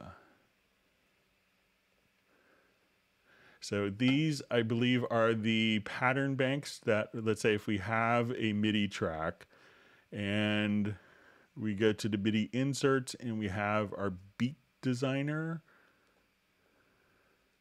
So let's say if I wanted to come here uh, and just load up that these are the beat designer kits.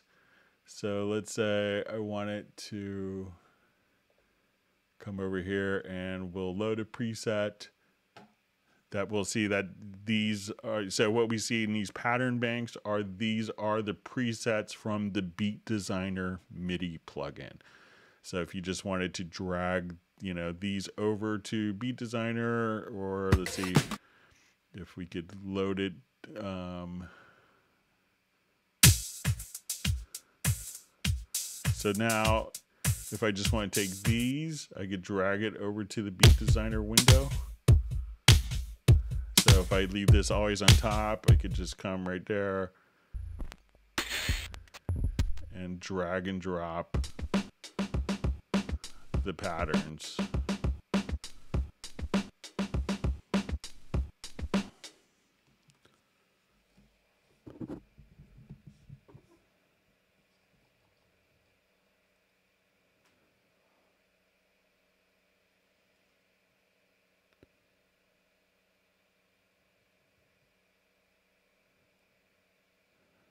All right, so we just see question. Hello, Greg. Uh, could you tell me if Cubase 11 would work well on the Mac M1V? So yes, uh, so it runs under Rosetta currently, but we have lots of people who are really happy with their performance, and we'll see that Cubase 12 uh, will be Mac M1 native. So.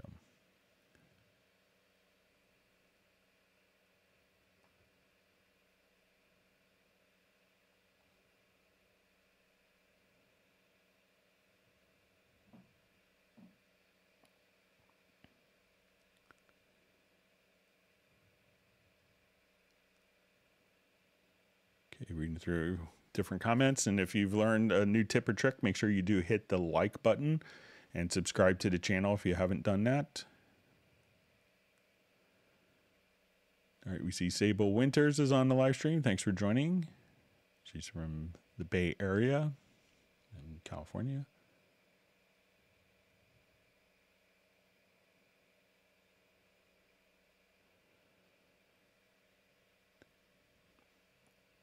All right, so we have a question how to easily make dual mono compression on stereo channel. So if you wanted to, so let's say if I have a stereo track.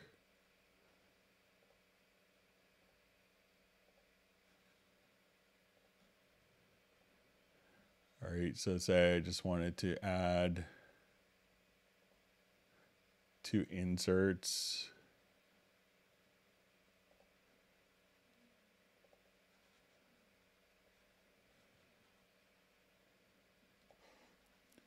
Okay, so when we come here, we can now go to the routing and then So once we see our inserts, we could go to routing here and we can say, okay, I want this to be mono. And I want this one to be mono. And then we could just at this point. So that way we could have this compressor on channel on the left channel, this compressor in the right channel. So if you just go to the routing and then you could choose mono and go to the routing editor. You could pick uh, which channel is being used.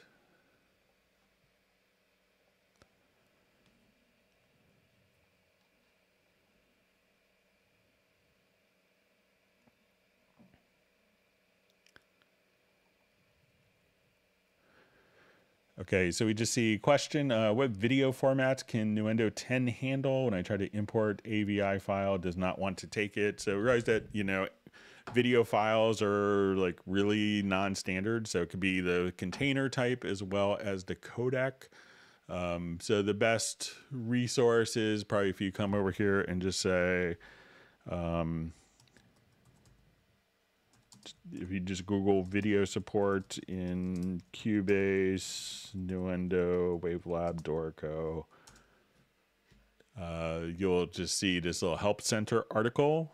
So, you know, video files aren't like WAV files that could be kind of loaded into anything. So you're going to have container types. So you would need for an AVI file to be, uh, you know, for the codec to be a DVD, DVC Pro, or Motion JPEG, Photo JPEG.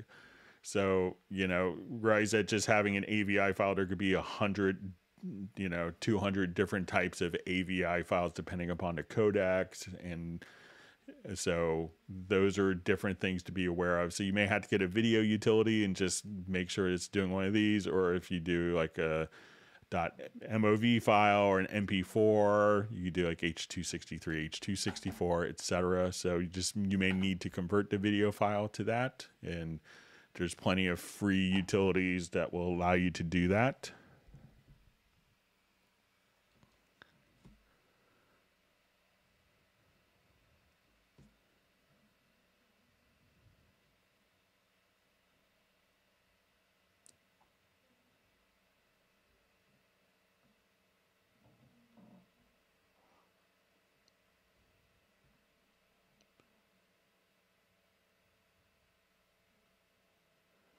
Okay, just reading through questions and comments. Thanks for all the great questions. All right, so we see Michael Pierce just wants people to give the like button some love.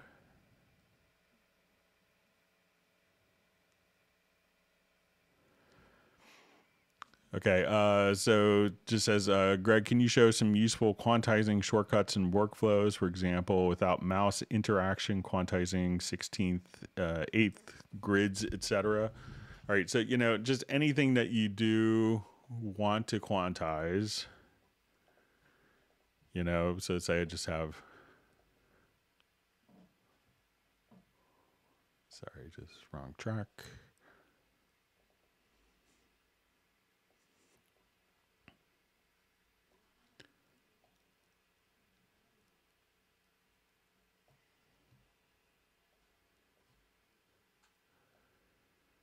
All right, you know, so you could set up different keyboard shortcuts you could define for the particular uh, preset.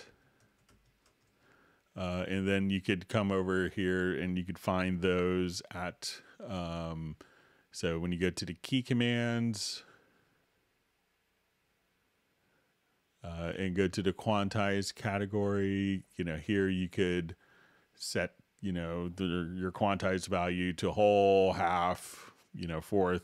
And you could also have for toggling i have it kind of set up on a stream deck on my system my studio. But you know and you know once you're here you could just kind of choose to say okay I just wanted to you know what i generally will just kind of do more like spot quantization. So let's say if i just move stuff around randomly turn off my snap.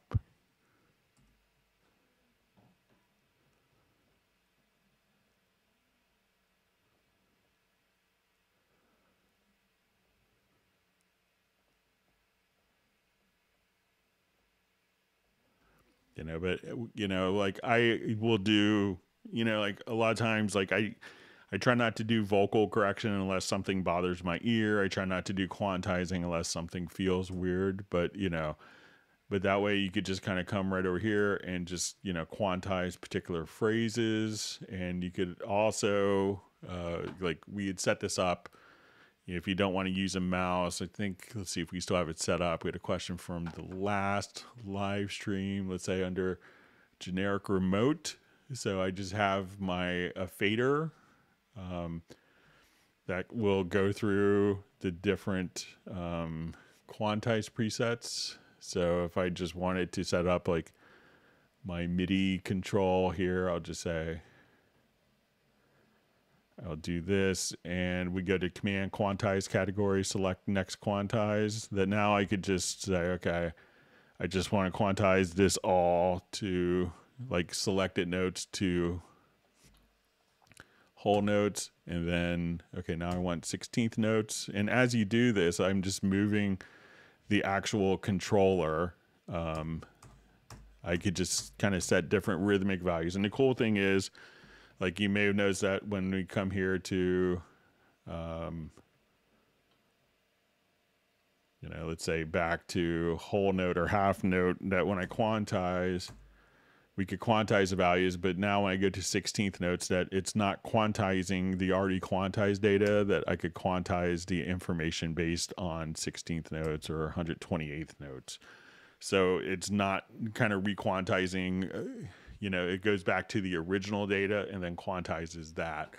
And there's also lots of great stuff. So if you wanted to, you know, come over here, you could set, you know, the quantized strength for like kind of a soft or iterative quantization. You could quantize lengths, you quantize the ends of notes, and you know, so just kind of set up the keyboard shortcuts and you can get very fast and powerful with it.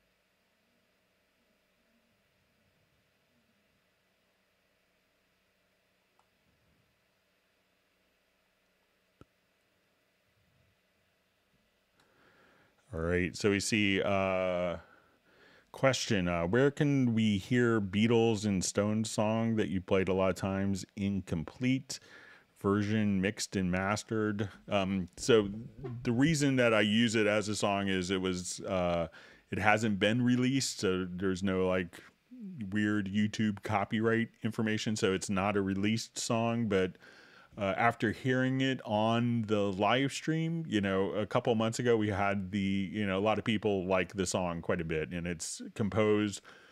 Uh, one of the one of the songwriters is uh, Vince Melamed, who's long, you know, I've known him twenty some years, and he's a wonderful songwriter, and he's kind of a journeyman, like sideman keyboard player. He's played with, you know, the Eagles during kind of the in the seventies and eighties uh, before they broke up. He's played with Bob Dylan, Jimmy Buffett, Rosanne Cash. Um, so just a wonderful writer. So he was a guest on one of our Zoom meetups a couple months back, and Sable loves that song as well. So Sable reached out to Vince and and is doing a cover version of, and she's going to be releasing a version. So, uh, but so I don't own the song. I just kind of use it um, but if you email me, I could I, I could check with Vince if it's okay if I just send a version that I kind of prepared to you. But I would want to get permission from Vince. But you could also check out, I think Vince did a solo record, but check out Vince Melamed, M E L A M E D. Uh, wonderful musician, songwriter in person.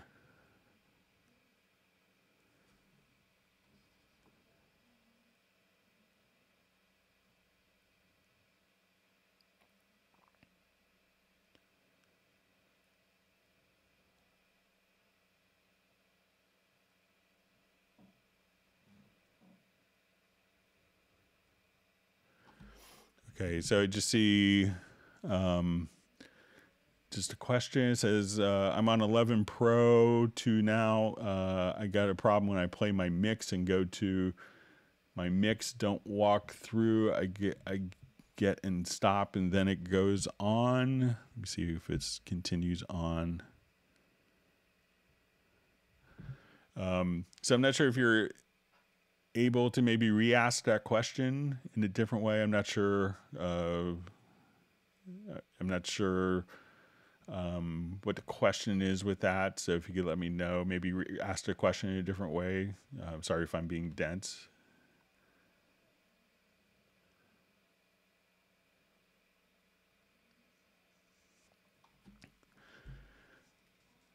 All right, so we just see from Benny uh, question. Sometimes when I work fast and do a lot at the same time, like Nuendo 10 crashes, say one of 30 times. Uh, I run PC with 10, uh, six cores, and a lot of RAM, so the computer is strong. Um, so you know, if you have a particular error message that you're doing, you know, you you know, it seems like you indicated that you were on 10.2 earlier, but you know, I think 10.3 is a free download from there. So make sure that you get uh, the latest version of Nuendo as well and see if that helps.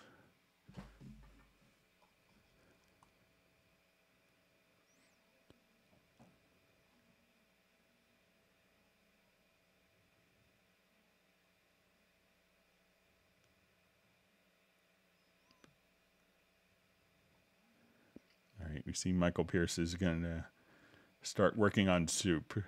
So to because it's winter and he doesn't want to have ice cream when it's cold outside. So maybe we get started on next week's Zoom meetup. We could have virtual soup for Christmas.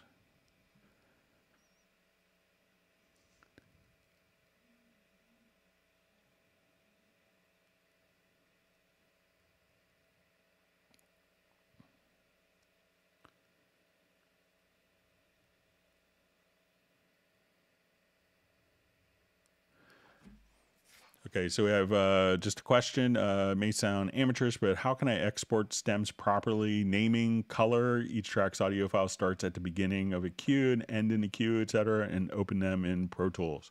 All right, so the audio file itself isn't going to contain a color, uh, so that's not going to be transferred over.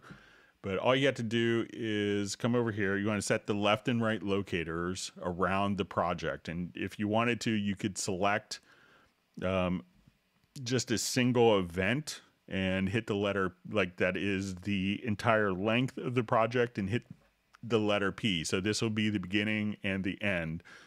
Uh, I'll just do it since we had discussion on Beatles and Stones. I'll show that because this might be less stem-like of an origin. So let now, so I want to come over here. I'm going to just hit Control or Command A, select all, and then hit the letter P. So we've set our left and right locators around kind of the entire song. At this point, we go to File to Export Audio Mixdown. Uh, so we'll see channel selection. You want to click on multiple. So here we could say I want to export to stereo mix. I want to export my group channels independently, my effects channels, my instrument tracks, and my VST and instruments and my audio channels.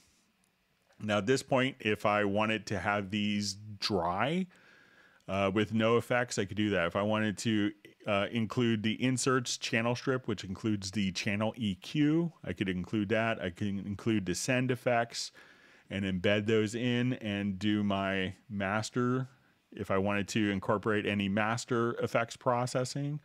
So you have a lot of flexibility here. We choose our different file format, probably a wave, uh, and you could just have it do whatever sample rate you need.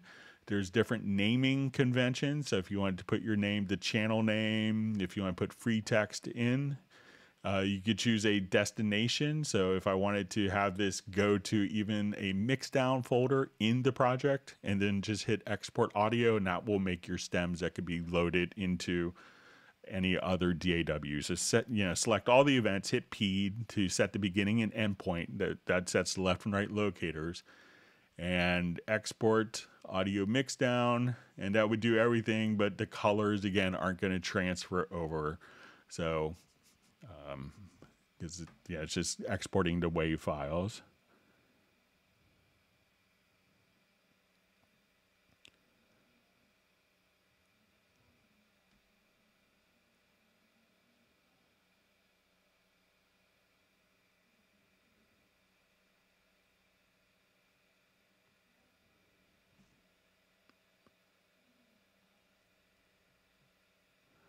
So we see uh, Sven is just saying, you know, uh, if we, you know, we could publish the project and then we could have a mixing competition. So there are some projects like you could download a project on the uh, Steinberg uh, download assistant for Cubase 11 already if you wanted to,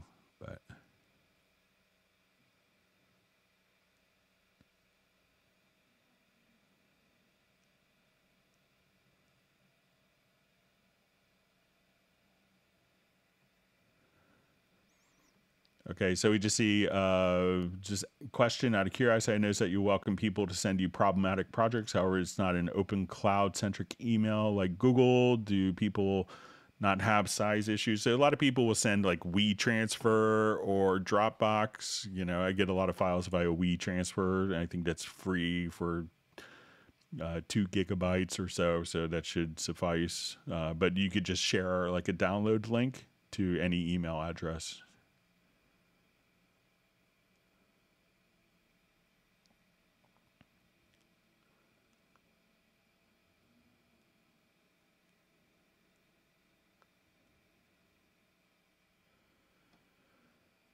All right, so we just see a question about free warp. Uh, track audio events are different from each other. Okay, so they're different files. Uh, inconsistent changes also affect track versions. They carry some alterations. Uh, tried to save as different file names, same problems. Um, so one thing, you know, if you're having, you know, this is going back to our question that we're looking at with warps, uh, with warping, like free warping, I think vocal tracks. So let me just. So if we were back onto like when we're talking about these files here, you know, but if we've done a lot of warping, you know, one of the things that you could do is, you know, try to, you know, like after doing warping, you know, let's say if you did a new version, but just try to do a bounce selection and see if that helps at all. So if you just go to the bounce selection here, and that should write a new file. But yeah, if you want to send an email to the project, I'd be happy to check it out. All right, so we have Kevin Key Genius from from the UK checking in. Thanks for joining the live stream and being a part of the community.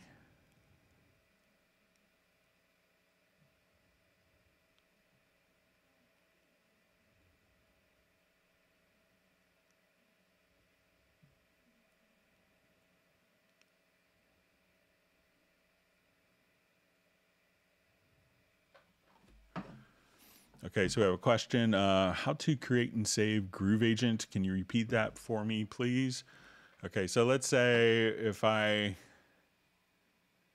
you know, had a drum loop here, and let's say I have an instance of Groove Agent. I assume this is a, um, like creating a Groove Agent preset. Okay, so I will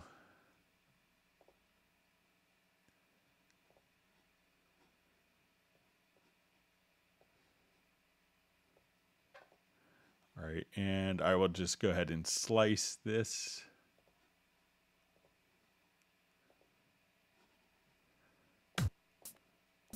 All right, so now if you just right click, um, you know, you could just export the kit with samples and that should automatically carry it over. So just once you have, if you're looking to create your own Groove agent, just right click here and export the kit with samples.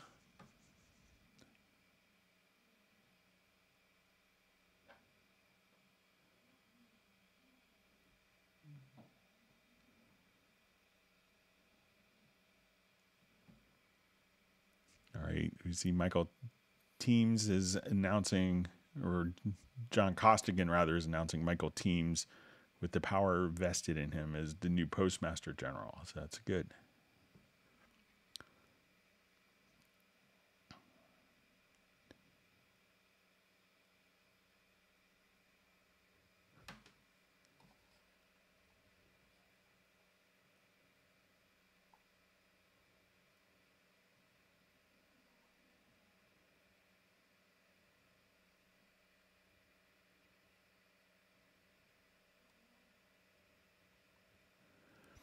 Right, so we have Judy, who is glad to be here from Arizona. Thanks for joining the live stream, being a part of the community today.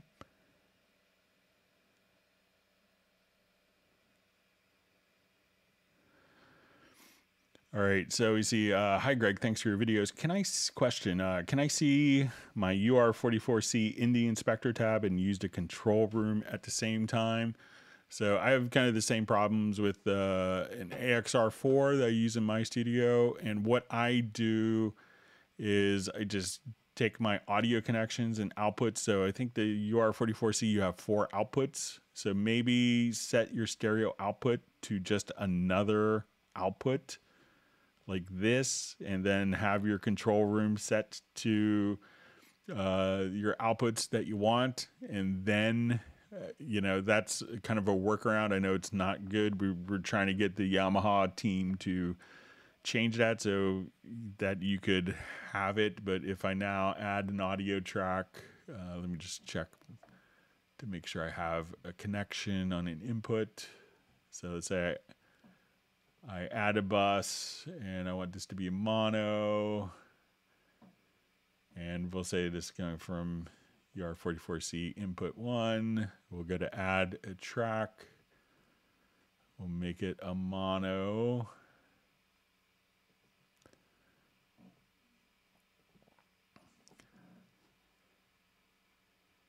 So, you know, try setting it. I know it's I know it's awkward and kind of a pain to do. So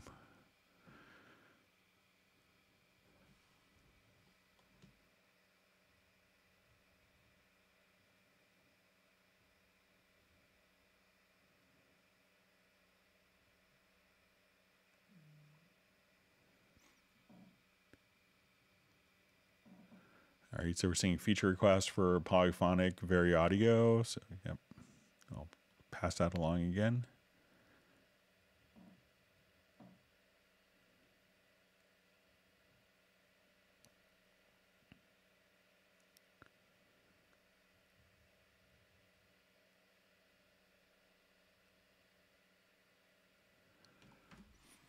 Okay, so we just see a question. Uh, when you detect silence and process, is there any setting that glues the events so there wouldn't be any empty space in between? So let's say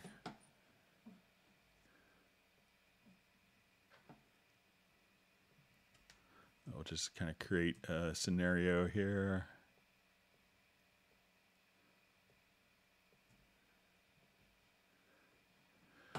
Okay, so let's say at this point I had rendered, oh, let's say we have this, and I'll just replace. I want to do a detect silence on this.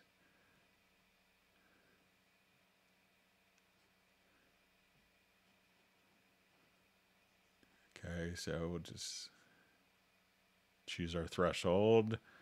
All right, so we'll compute.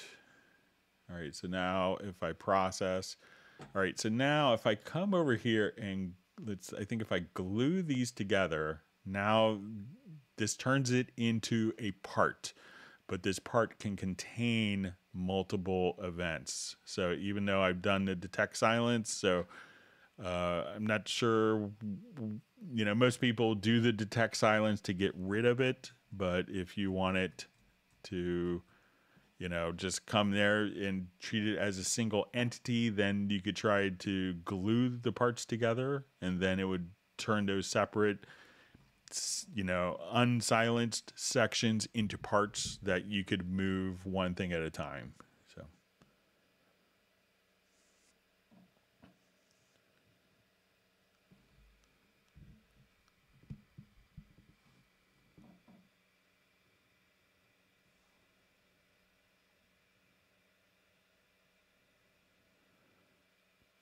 Okay, so we see uh, why standard composers may want to buy Nuendo. Is it an overkill? So, you know, a couple of features. So, if you're starting to think of compositions with Dolby Atmos, that makes it a big plus. Also, sometimes composers tend to have a lot of picture edits that come in. So, Nuendo does offer reconforming Um, so like if you've composed, you know, your entire piece and then the, you know, the editor comes back or director says, you know, we cut out 3.29 seconds uh, out of this scene. So, you know, make everything fit that you could, you know, do re- reconforming, you know, so there, there's a, you know, some, some things that Nuendo makes sense for composers as well. There's, you know, a lot of those have been kind of migrated into Cubase over time.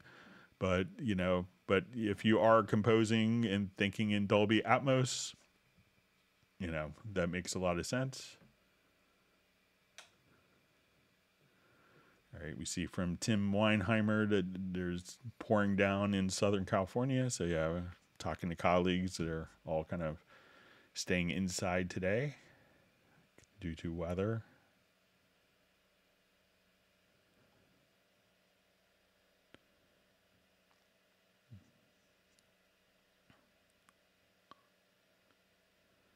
Or you see Daniel's just uh, loving the new lo-fi uh, piano HALion instrument, so it's great. It's nice, very nice of Steinberg to offer it free as an early Christmas gift for everyone.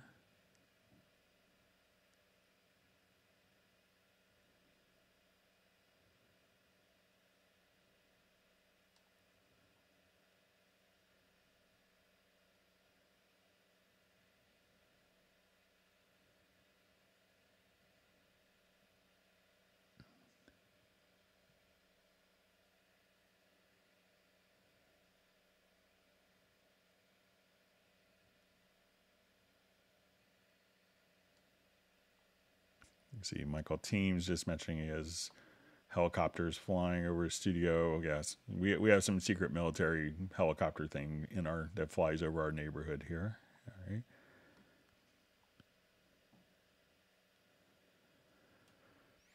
All right, so we just see question. Uh, so how long till M1 native? So Steinberg has announced that Cubase 12 will be M1 uh, native. So when that's released, uh, they're just saying early 22. So, but make sure that you pressure all of your plugin companies to be M1 native as well. So, all right, so we see Zozilla the Great just apologizing for being late. You don't have to worry about apologizing. Just show up, and if you're late, you have to hit the like button. So that's the only punishment.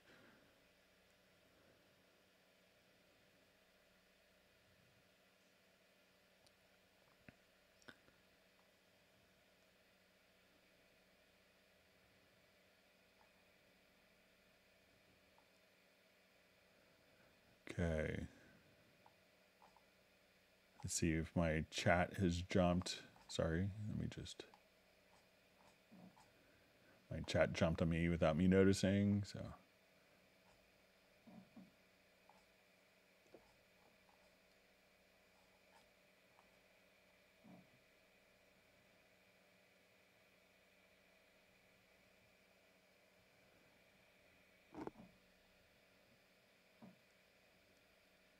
Okay, let me see if I'm approaching getting caught up. Let me just check times.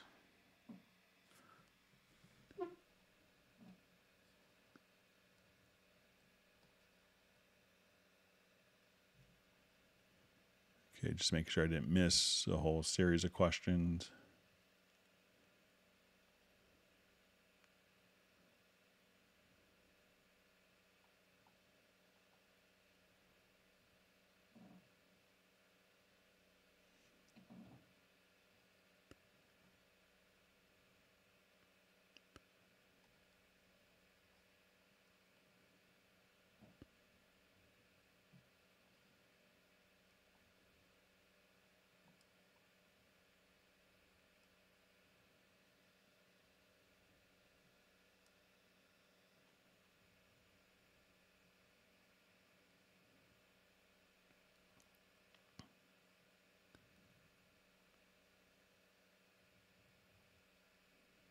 Okay.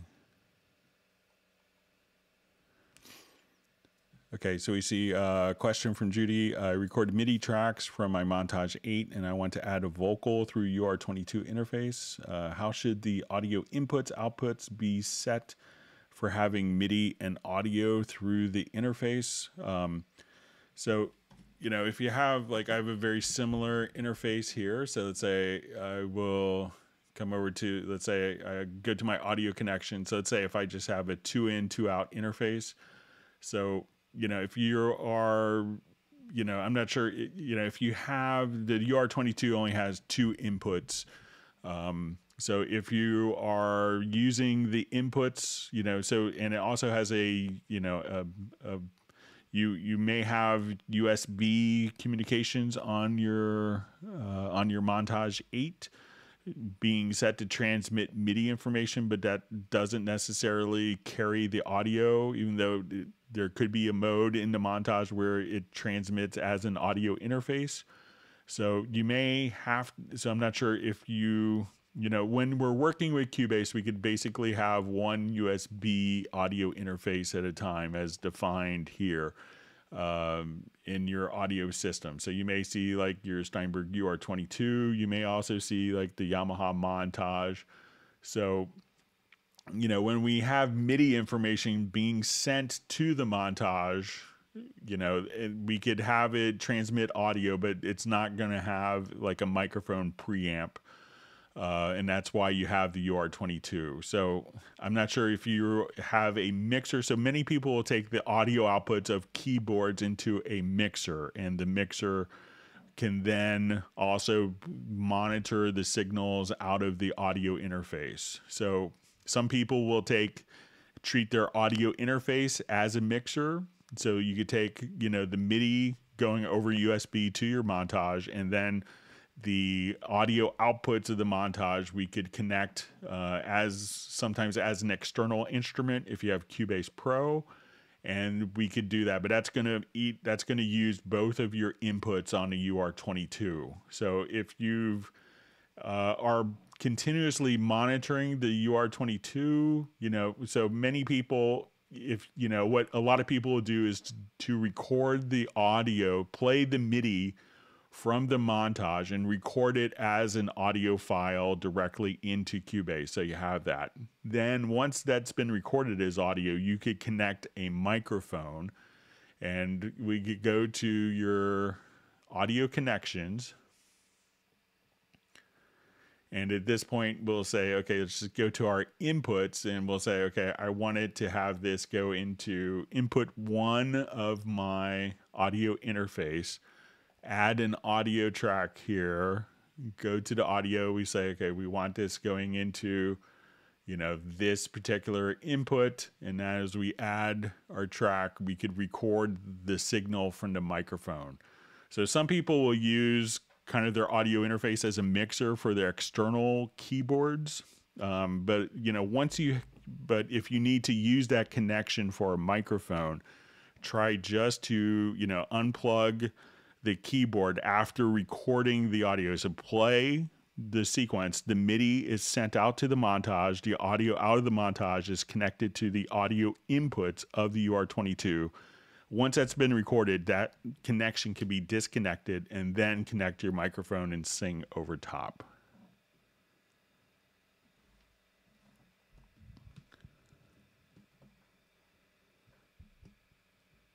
All right, so we see uh, feature request for multi-track free warping. So we see lots of people have had that. We'll pass it along again.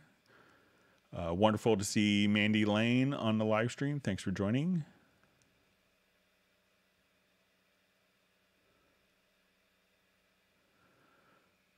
All right, so we just see how do I slice loops in Cubase? I got some old Akai CDs. Um, so you know, anytime that you you know we have loops so let's say if I just wanted to take uh, a drum loop here, I'll just go to a different project. So if you have the sampler track,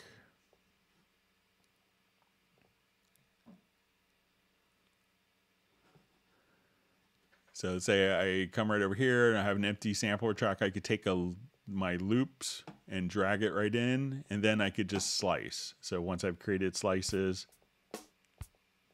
each key is now just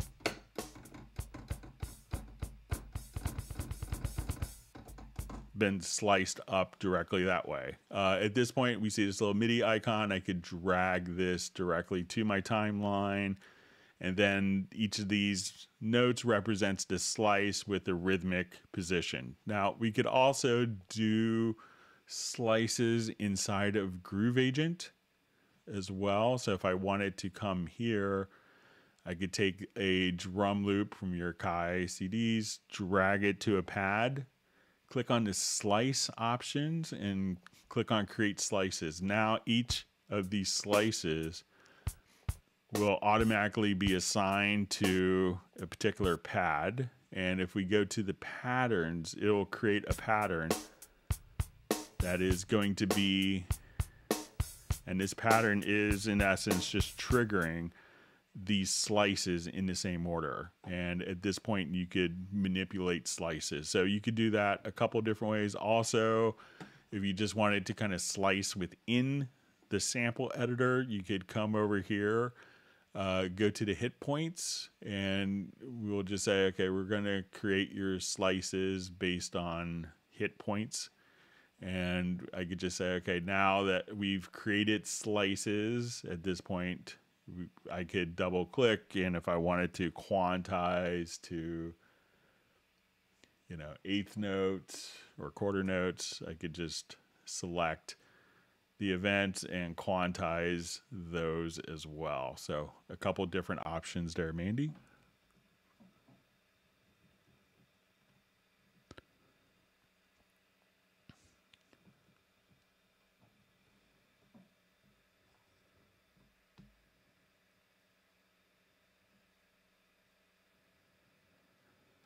Um, so, all right, great to see Marcos on the live stream. Uh, says Greg, any version, any of Wavelab is for mastering than any DAW Cubase. So, you know, I would say that you know Wavelab is going to be a purpose-built solution for mastering. You know, whereas DAWs, you know, some people would do processing, but if you want to do a lot of mastering, Wavelab is probably a better tool you know it's just kind of a, a tool set that's really designed for mastering so.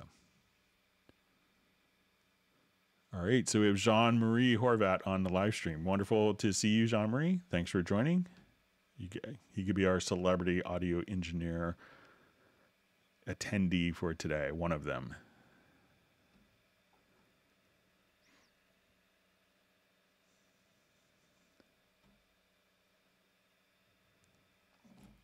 Okay, we have a question. Uh, is there a quicker way to get the graphic pics of VST plugins without one by one loading them into a project and then clicking on the photo button?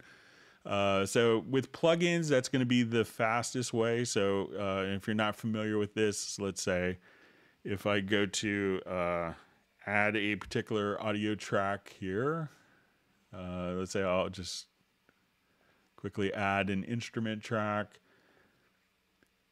you know, and it's always helpful if, uh, let me just, sorry, add an audio track here. You know, if, you know, manufacturers have the abilities to generate these as well, but let's say if I'm in this particular plugin, you know, there, if we want to see like the pretty iconic, like icons that when we come over here to VST effects and we go to, you know, where we see these pretty pictures, you have to kind of come over here and just kind of click on the actual camera icon. So, you know, as I do it, I just kind of, you know, like as I add plugins, I just do it once. You know, it takes, you know, a, a matter of seconds to really do so, but there there isn't like a batch way of doing it, and you can update kind of the status view of the particular uh, instruments as well. So, if you don't like the default one, you could override those as well. So, but there really isn't a, a quicker way than doing it one by one. Sorry about that.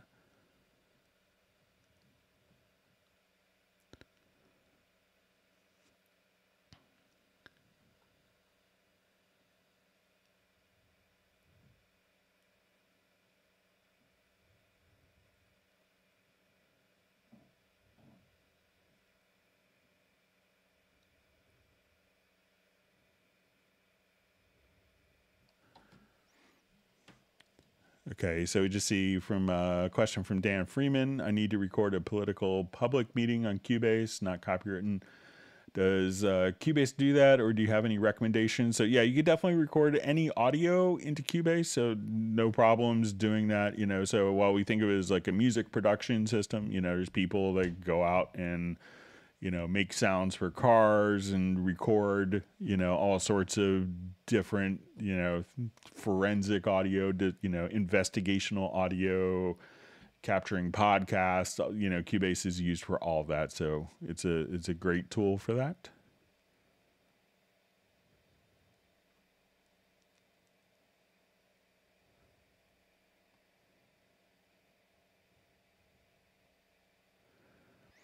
right. So we're seeing fun horror stories of bad plane landings I'm reading about. So I could share plenty from thousands of flights I've done. So, all right. All right. So we have uh, Trinidad and Tobago in the house from Barry Williams. Thanks for joining our live stream. All right. And we have Nick on.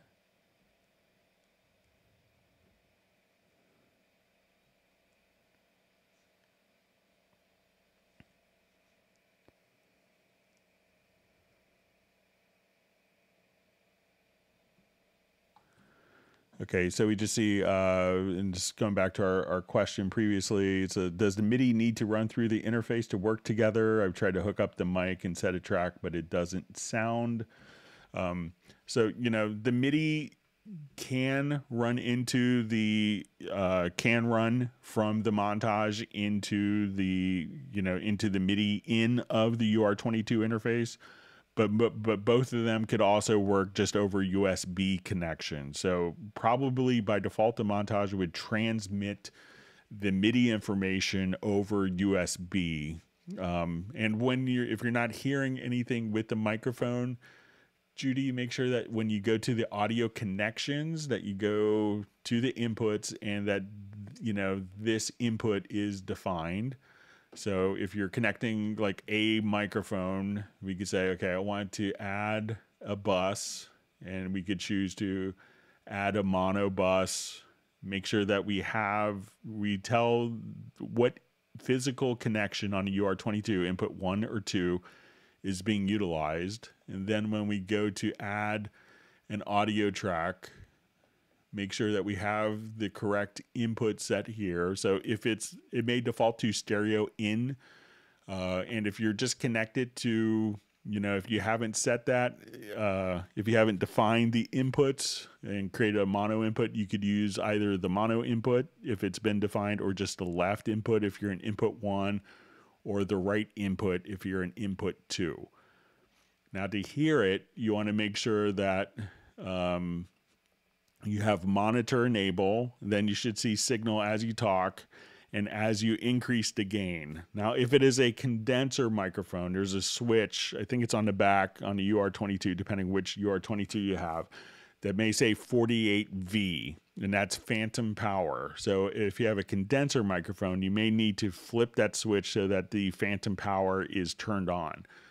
So, uh, and as you bring the gain up, the volume on the front panel, you could adjust. You, you once this is in, you should start seeing the meters show up here, and then you could arm the track for record.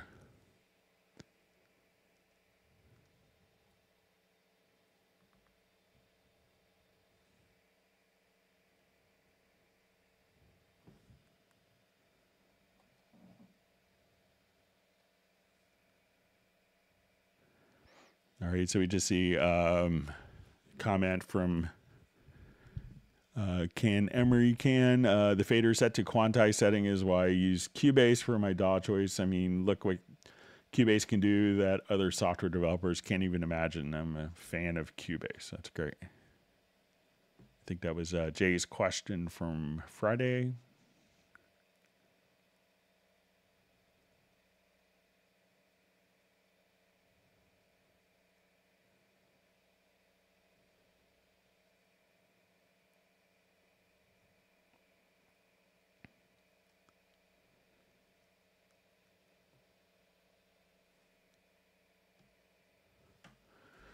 Okay, so we have a question uh, about ghost notes when selecting two. How do I lock the view so I can add notes for B, which is already on A? Every time I double click to add a note, B switches to A. Um,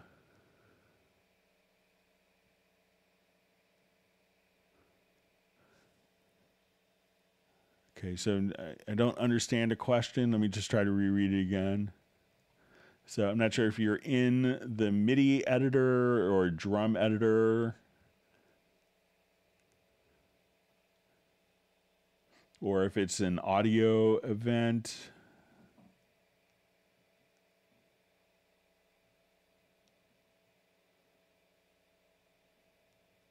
Or the sampler tracks So maybe uh, best Korean Jesus, if you could just uh, give some more information. I'm sorry, I don't know where to kind of start with that.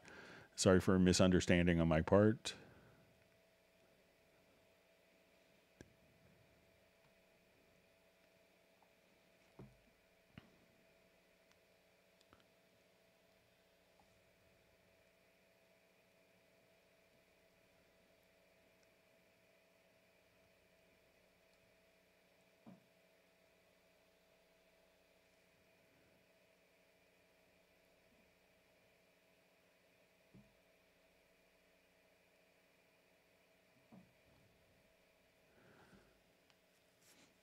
Right, so we see um, from uh, Matt Elder says, "Will the Zoom invite be linked in the Discord?" So I will try to have the Zoom invite. I'll I'll post it in Friday's live stream for Tuesday.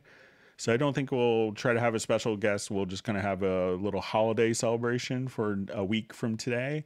So, but I'll I'll create the link and get it posted on Friday, and then if it you know if people want to share it in the Discord, that'd be fine.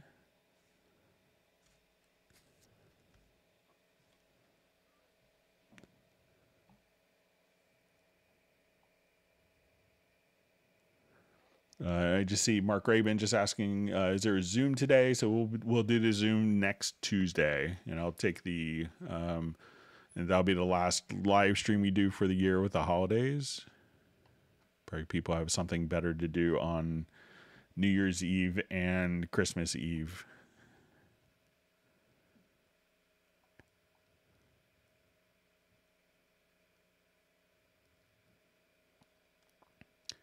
All right, so we have Graham Witcher from Royal Wootton Bassett.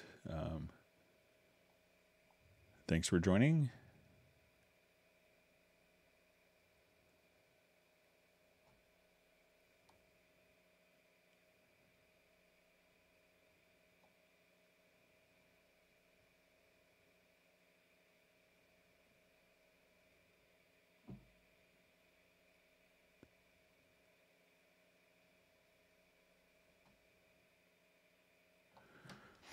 All right. Uh, so we have a question from uh, Kerwin Young. Um, says in Cubase slash Nuendo, how can we customize the score editor to export the track names with each export for new projects, or must this be done manually for each project?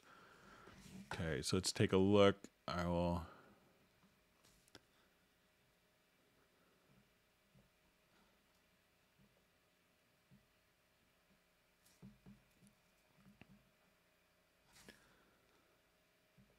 so let's say we have a uh, look at our score editor here.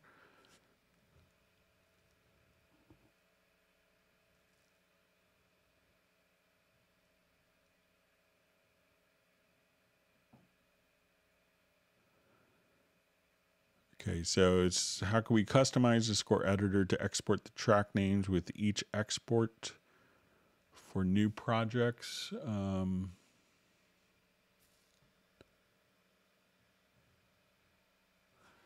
Okay, so let's see if I. Okay, so here is the to export to track name. So when we look at this, we'll see we opened up. I'll just call this track Kerwin. Okay, and I will hold on shift key, and that's what the event will be named. We'll go to our score editor, so it's now it's going to be called Kerwin. All right, so I will.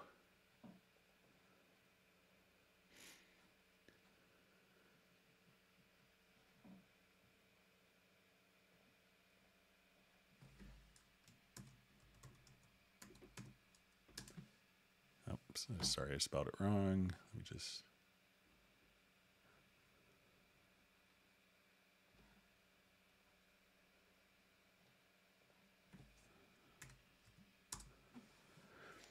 Okay, so export tracks with, each export for new projects or all right. So let's say if I do let's see, and if I'm misunderstanding this, Kerwin, just let me know. Um, when I go to, I'll say import tracks from project.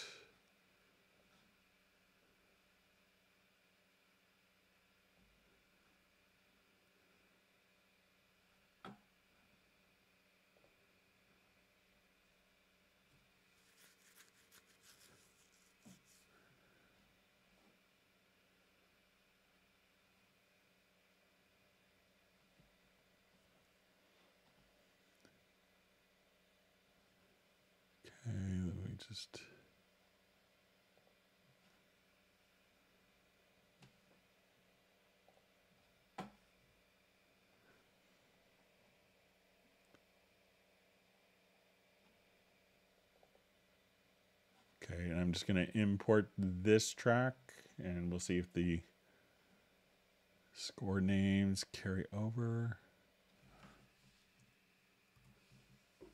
So it looks like that carried over there. So if this is the like the track name that you're talking about in the score editor, let me know, Kerwin. I'm afraid I may be misunderstanding, but if you could just let me know.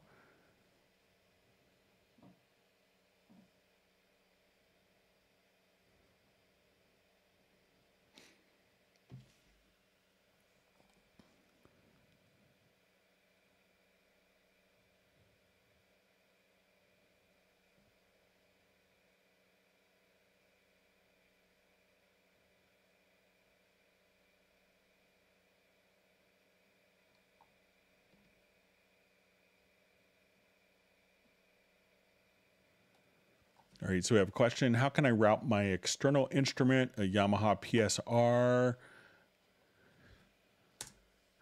um, PSR dash SX900 as an instrument track? So all you have to do, and you can do this in Cubase Pro, uh, but if you go to your audio connections, you'll see an external instruments tab. Uh, so at this point, we want to add an external instrument so I'll just call this PSR SX900. Okay, and once we have this set up, we need to tell it what, and we need to take the audio outputs of that particular instrument and connect it directly into the uh, to inputs of our audio interface. So this is when it's helpful to have an interface that has more inputs uh, other than like, you know, just a two in, two out. So once we defined where that input is connected, I can now come over here. Let's add an instrument track. I will look under external and then we could say, I just wanted to add my PSR and then I could just play my external instrument and the run it through all of the effects EQs that I would on a normal um, you know directly on a normal track. So you know at that point it's basically taking the audio outs of the instrument and feeding it directly to inputs of the audio interface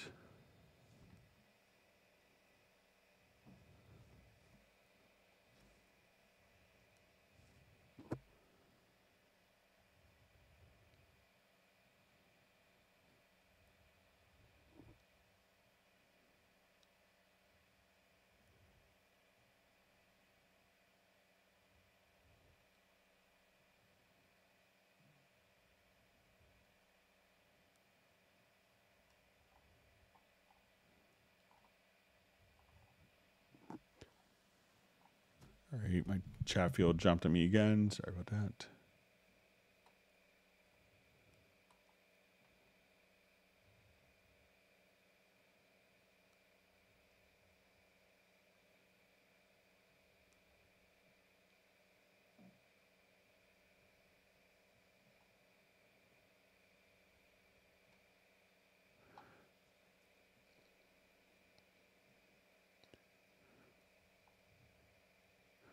Okay, so we just see um, how to use Wavelab SE uh, in Cubase. I don't see it in the editor's choices, so I'm not sure if SE may not connect. Um, so let's say when I come over here, we could just say, you know, if I have an audio event, so it, you know, the SE is a very limited version of that. Uh, I don't even think I have SE installed uh, on any of my systems, but let me just.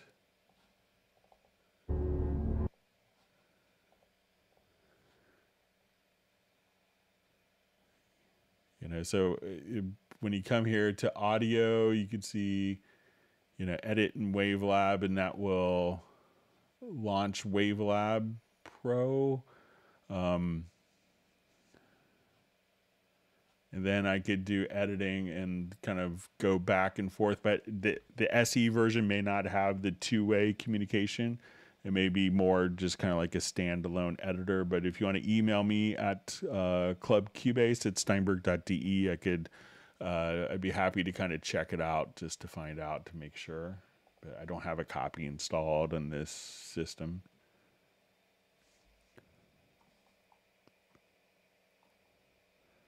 Thanks, Jazz Dude, for letting me know that the chat jumped without me realizing.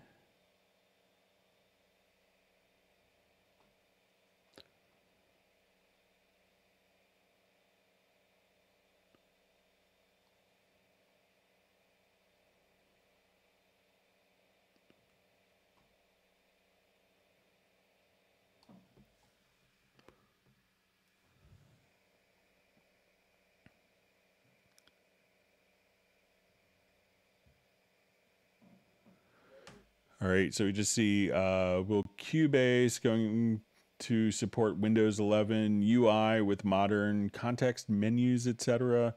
So, you know, there's a lot of things that might be more kind of operating system specific that don't necessarily, uh, you know, tie into uh, like user interface designs of Steinberg and realize that we have to kind of keep user interface elements kind of as platform independent as possible so that they work across Mac and PC. So I haven't heard of much plans for, uh, you know, for modern context menus uh, or many people wanting that, but I'll pass it along.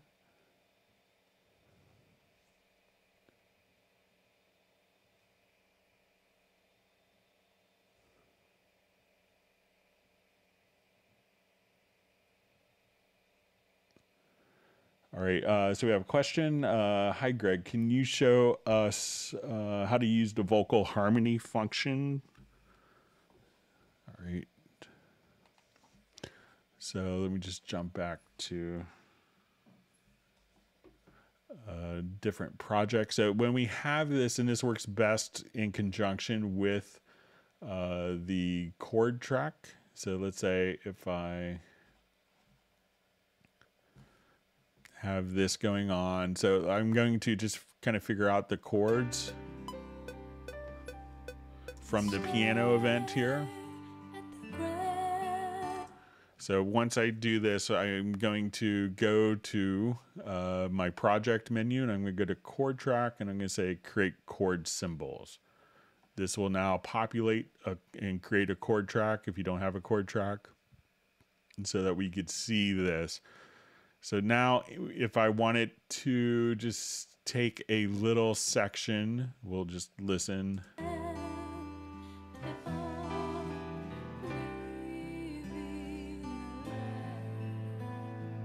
So let's say I want to take that uh, phrase where she said leading a lie, leaving a lie, or whatever the exact lyric was.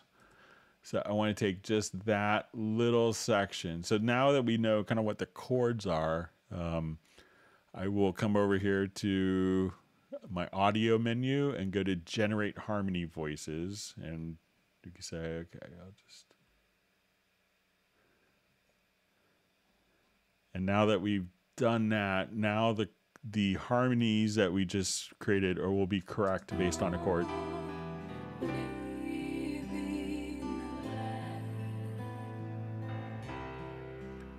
So once you create the chord track, select it, and then you could automatically create uh, up to four harmonies at once.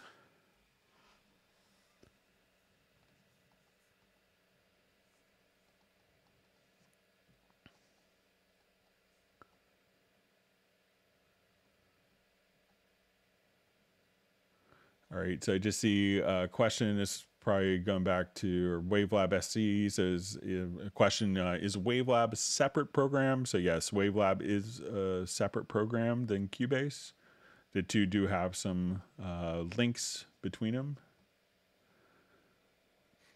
Um, I just see also some confusion on if the UR interface has MIDI and uh, and or just USB. So it's it, the UR the UR22 does have MIDI in and out. So the UR22, 44, uh, 824, they all have MIDI capabilities.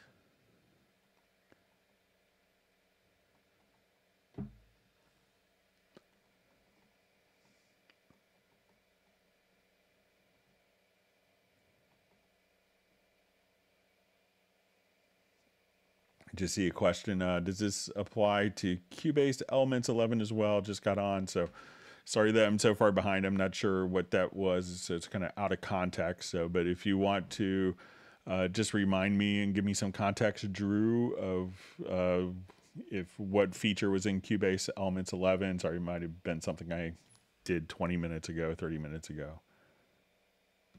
But you see that Jazz Dude has uh, posted a comparison chart.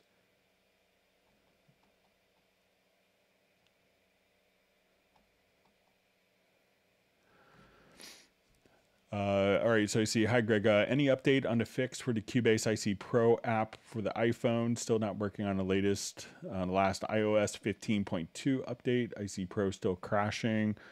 Uh, so I haven't heard of anything, but I didn't know that it was crashing with 15.2. Um, but I could, if you want to send me an email, I could follow up and see, and I could try it. Uh, I don't think I had the latest iOS version on my iPad.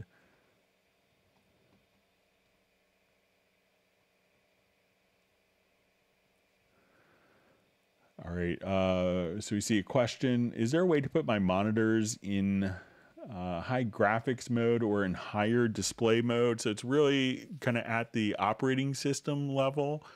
But if you're running Windows, you go to preferences, you know, because in Windows, if you go to preferences into general, you could enable, there'll be like a little button here. We don't see it on Mac OS, but there's a button that says enable high DPI so you could turn that on, and if you have a high DPI monitor and display card, um, that you could turn on high DPI, and there's different high DPI scaling. So uh, if you have that all set up for your system, then you should be good to go. All right, Michael Teams wants people to smash the like buttons.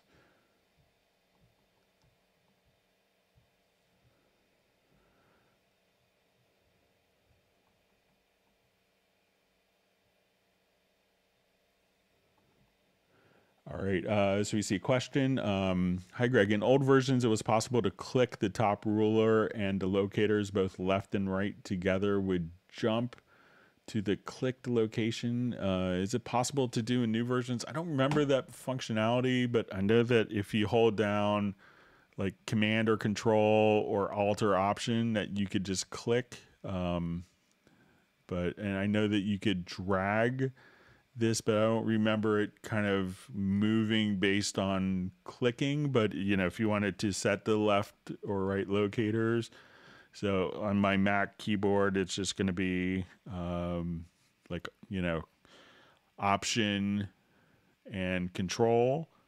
So I think it's Alt uh, or Option and Command. I think it's Alt Control uh, on Windows. So let me know if that helps.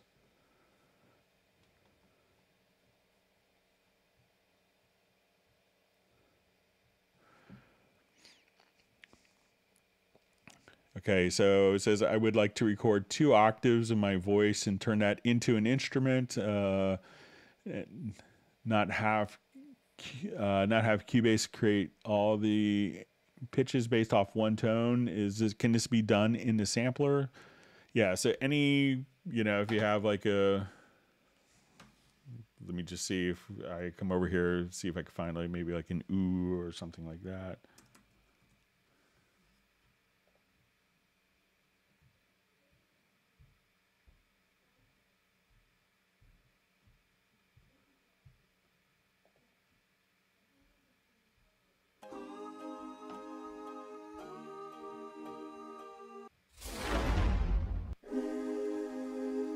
So let's say, you know, if someone just recorded something like this.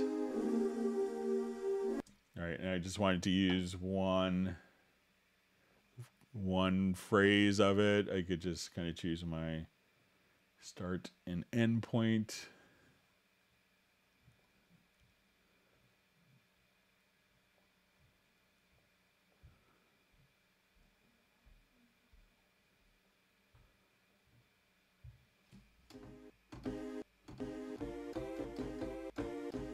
And then you, know you could do different loops uh, but yeah you could definitely do that.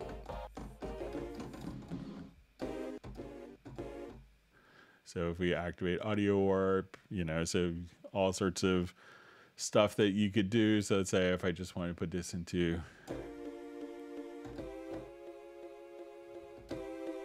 and you could obviously kind of set the loop points better than i did but yeah so just you could take one one sung word and drop it in a sampler track and play it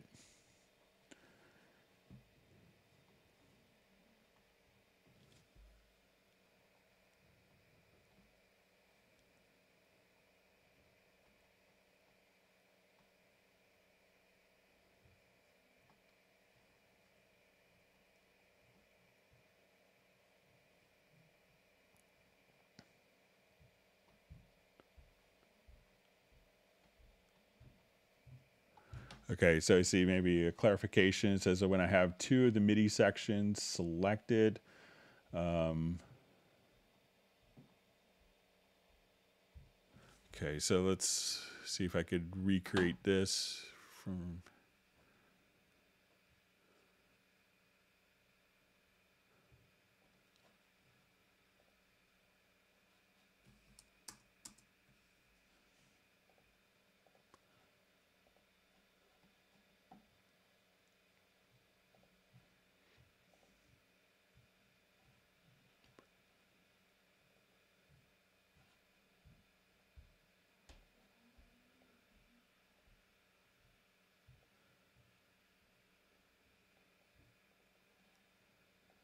Okay, Some.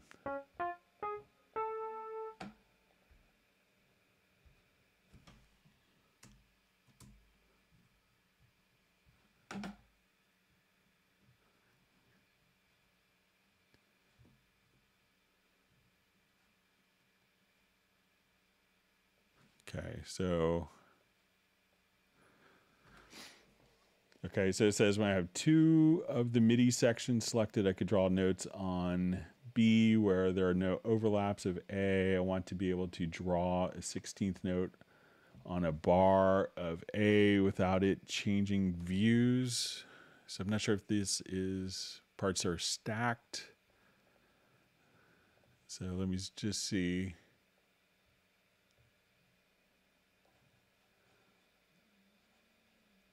Okay, so let's say if I come here.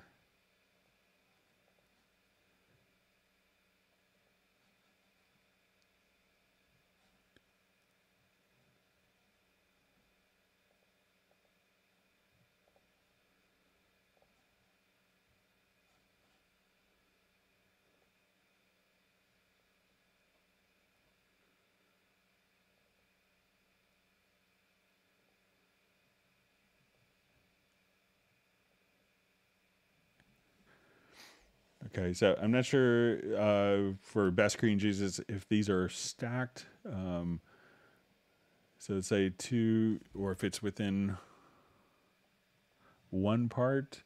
So it says uh, when I have two MIDI sections selected, I can draw notes on B where there are no overlaps of A.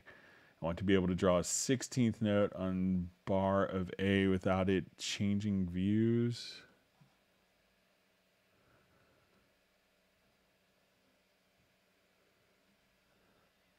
So, so let's say if I'm here, so I'm not sure if you wanted to do just something like that to draw that note without changing views, but you could probably also, so, but I'm not sure if the parts are stacked or if you have multiple tracks. So if you have multiple tracks, you know, you could obviously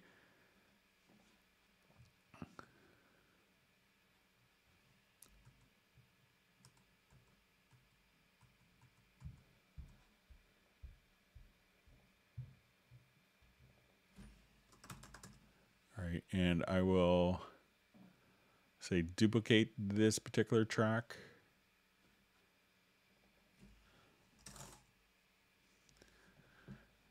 Okay, so if I'm here, we could just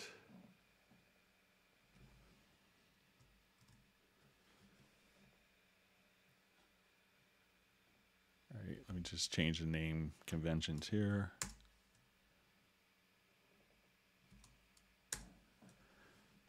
All right, so say I have these two selected. I'm in the editor and I want to And let me just change one of these so it's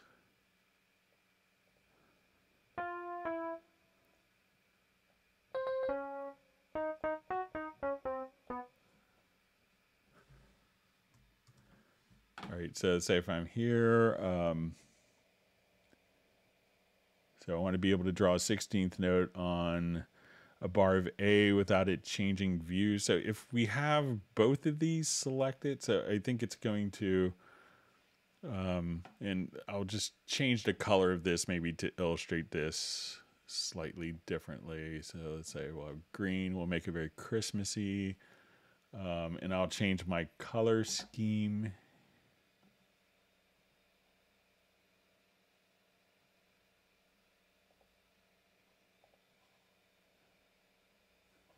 So let me just. Right, so we'll say to part. Right, so we'll have kind of red and blue. You know, so if if I wanted to draw a 16th note, let's say I'm in like the green is the active part or the red is the active part, I could now just draw notes in here, but still see both parts together. So as soon as I make this the active partners keyboard shortcuts for this. Um, so let me know if that's what you're doing, if it's parts that are like multiply selected or if they're on top or stacked on top of each other. Sorry if I'm not getting it.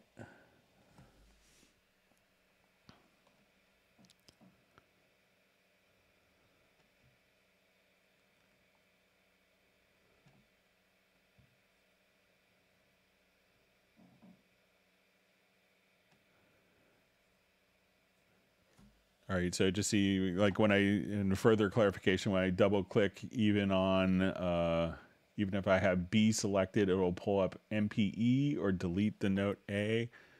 So if it's you know once I'm here, you know as soon as you know so there is a preference where if you double click, so you know if I wanted to switch the active part, you could just click if they're both visible, you could just kind of click on one of the parts and that will switch the active part from the inactive part. And you can see the other one gets kind of diminished uh, in colors. So, but let me know if I'm kind of going down the right path for you. Sorry about that.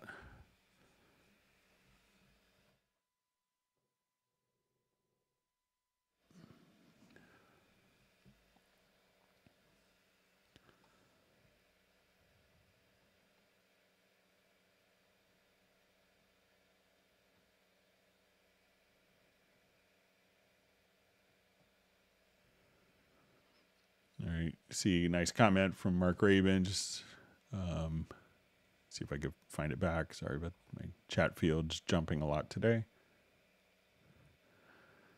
So just saying, uh, thanks for my patience and intuition answering our endless questions. Of course, I had to come after one that I probably didn't understand, but sorry about that. But let me know if I'm kind of going the wrong way.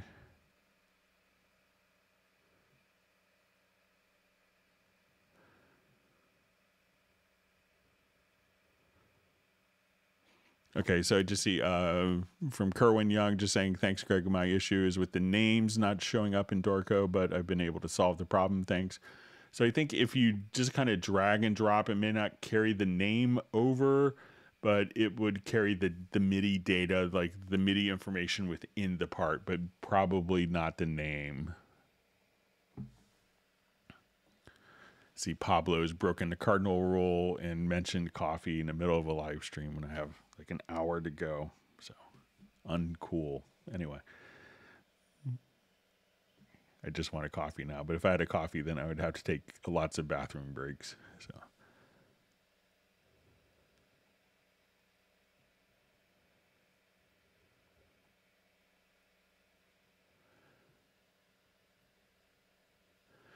Okay, uh, so I just see um, I'm new to this. Does Cubase have beat mapping like in Acid? So I'm not sure what beat mapping in Acid is.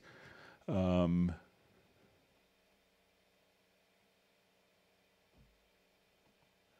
so, um, but you know, you could take any audio. For, you know, I mean, Acid was obviously known for being able to take you know different loops and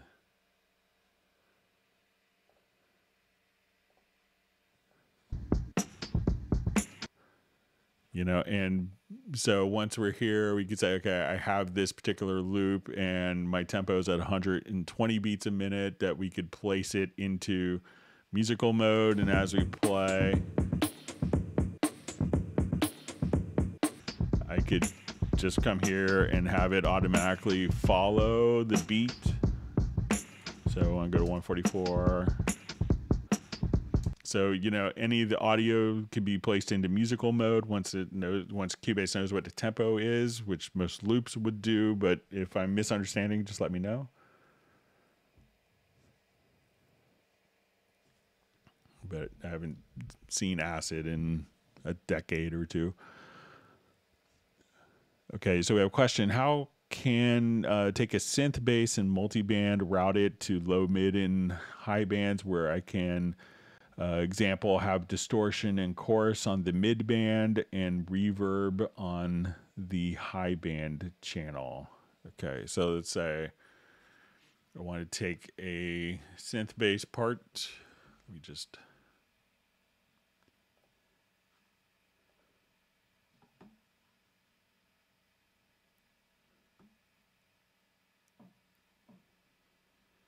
Okay, let's come over here. Let's do a quick Retrologue.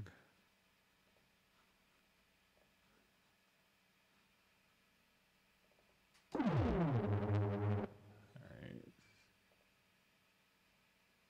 right.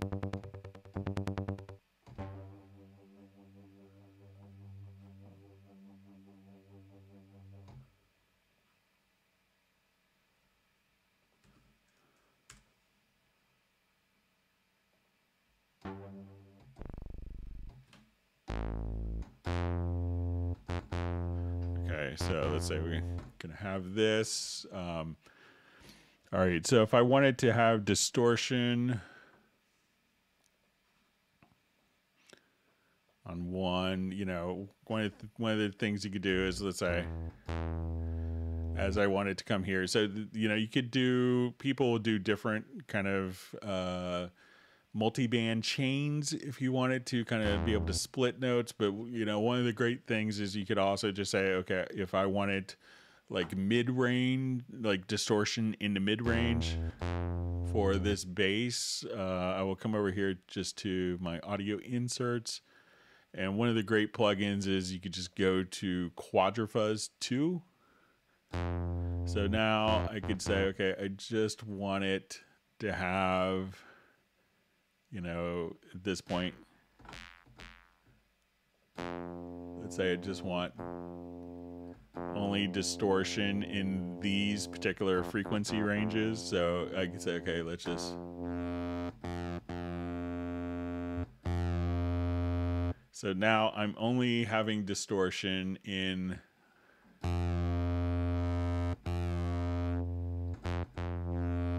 in this frequency range and I could adjust, you know, the frequency range if you wanted to.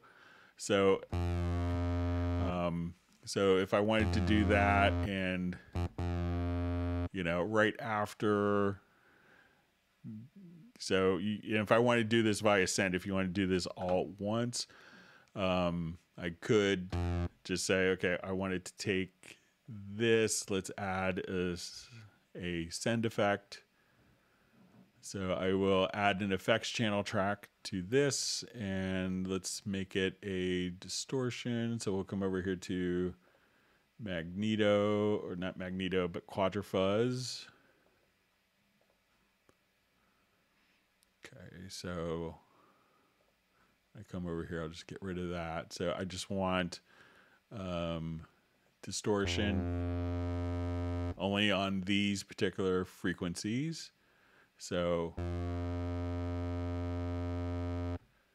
and uh, when I come here to the quadrafuzz, I could just say, let's come over to um, where my quadrafuzz is as an insert. And now I just wanted uh, chorusing on that particular frequency. So now if I put the chorusing after, I could now.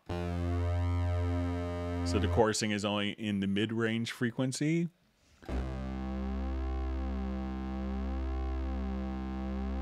So, you know, you could do stuff like that. And another method, if you wanted to just have reverb on the highs, is just to come over here. I could add a track and we could say, okay, I'm going to add an, another effects channel to the selected channels. And I wanted to add, um, let's say, a reverb.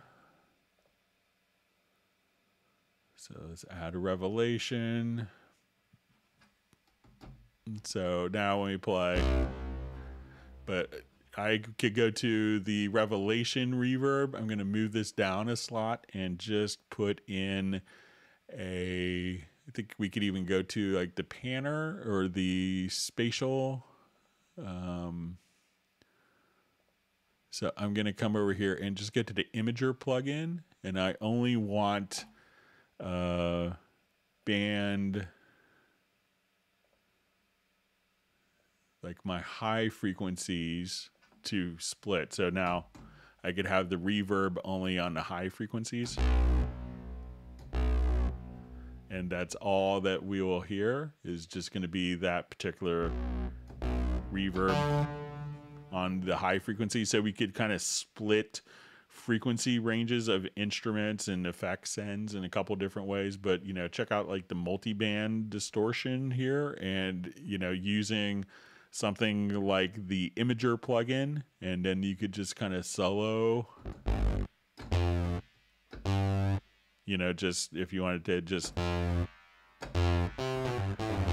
have the reverb only on the high frequencies, you could just kind of solo that and kind of split the frequency range before it hits the reverb.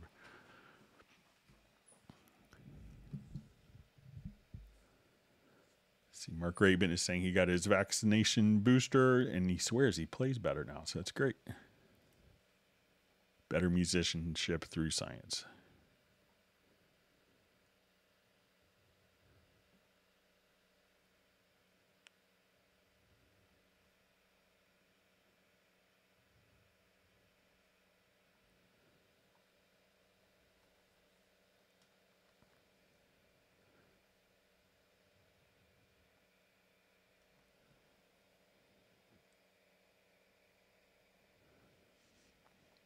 All right, so just see a question from Don M. It says, uh, does anyone know what interface would work with Cubasis on Android?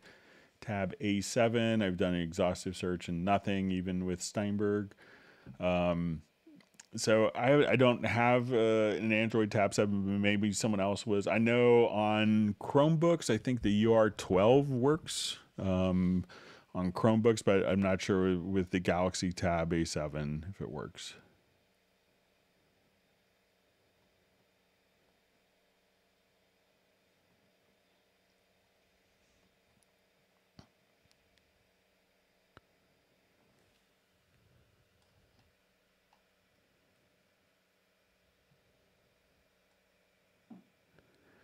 Right, so we have Peter checking in from Montreal.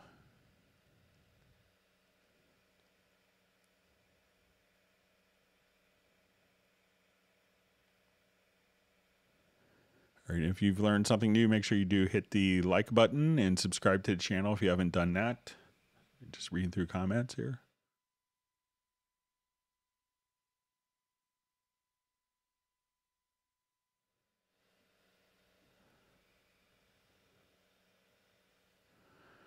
All right. Uh, hi, Greg. How would you insert an audio plugin on stereo out, but only for monitoring? Example, automatically disabling when exporting to an audio file. Could this be done with a control room, maybe? So, yeah, definitely in a control room because a control room is just a monitoring path. So, a lot of people use this for like maybe something like SonarWorks, which is kind of like uh, room correction reverb. So if you go to the control room, what you want to do is uh, click on the main tab and then just go to inserts and then you could have up to eight inserts here. Then when you go to export the audio this path isn't actually uh, in the path of the audio mixdown it's just a monitoring path. So just run it as an insert. Uh, so again uh, go to the main tab. You want to click on the main tab here and then click on inserts and then you could have a plugin that will be processed for monitoring that you don't have to you know remember to turn off every time so that it's not included with the audio mix down like a room correction so.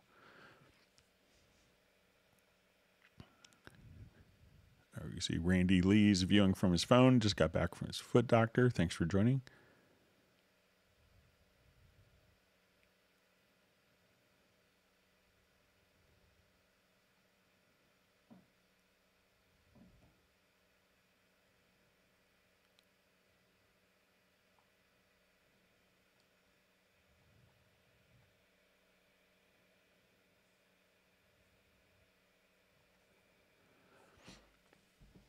All right. Uh, so we just see question. Um, Hi, Greg. How can I integrate my MIDI hardware patch lists and banks like for my Oberheim Matrix 1000 so I can add it as a MIDI instrument track and browse through my patches and sound banks and menus? All right. So yeah, that was always an interest. That's the one that just had like numbers for the presets, but had presets in it. Um, so a lot of times what you may need to do is if we come over here, let's see if there, there might even be, and this is, there could be patch maps floating around, but if we go to uh, more options and let's go to your MIDI device manager. So we could install a device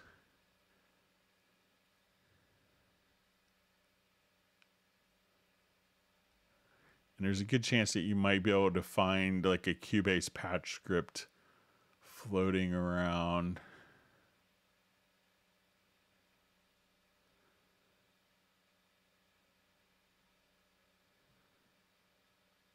And that's kind of of the era where All right, so if you actually see um let me just Google real quick and see. So you don't have to create this.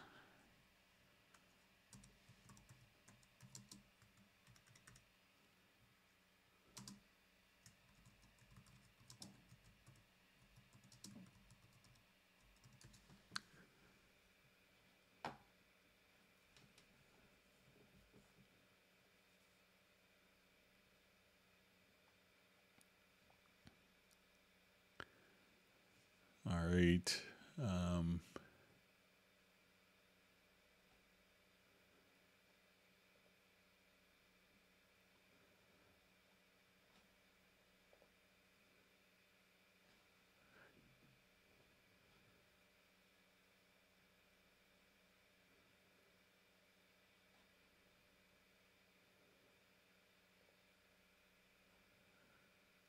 All right, so here's the actual editor that you could install.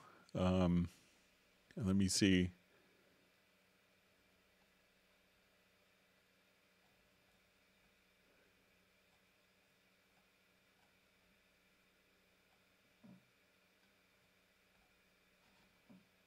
All right, let me just. So here's the device panel that you could install. Um,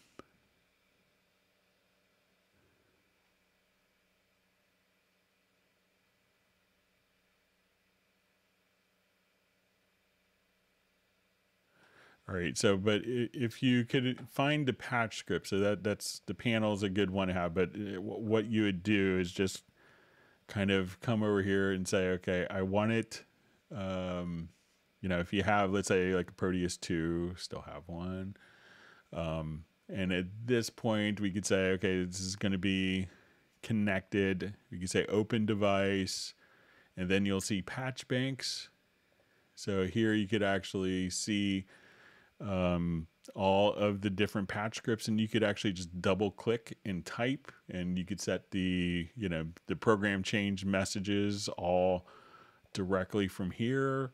So once that is set up and you could copy this into the scripts folder under preferences if you find one. But um, so if i add a midi track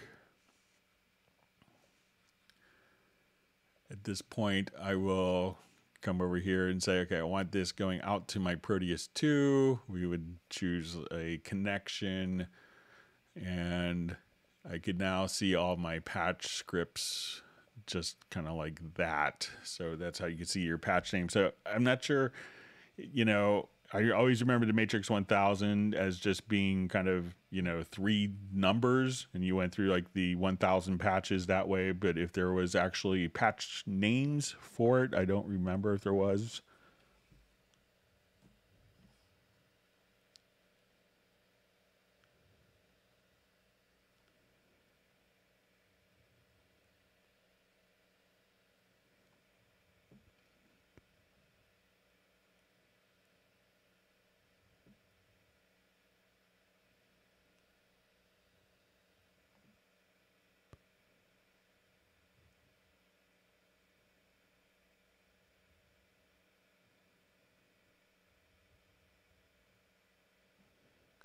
Okay, reading through.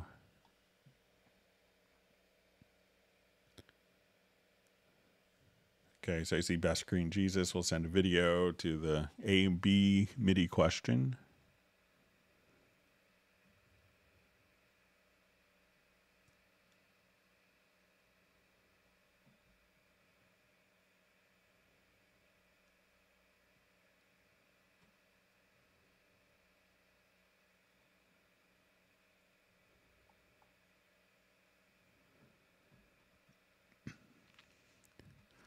All right, so just a uh, question. Hello, Greg. Is it possible to lower project pitch for VSTI in Cubase? I have folk recording with a pitch lowered approximately minus 20, 30 cents and would like to add some VSTI instruments. Thank you. So, you know, MIDI itself isn't going to ne- necessarily, uh, you know, follow any pitch changes that you do in audio, but a lot of instruments can be detuned. Um, so let's say if I just want it to come uh, let's look, see if we can see it in Retrologue. So if I come here to Retrologue, we could adjust like the pitch here. So let's say if I wanted this to be 420, um, so you could do tuning there within the particular instruments. If I had HALion Sonic SE, um, all right, so let's say if I'm here and I have HALion Sonic SE, you could also adjust tuning here. So it's really more of a matter of the instrument if it supports it. So if I say, okay, I want this to be, you know, 410, you know, it looks like it could go down, could go down to uh, like 35 or 25 cents up and down. So, so just try adjusting that. Um, but you could always record the MIDI uh, and then have that MIDI recording as audio and pitch shifted down if the instruments you want to use don't support that.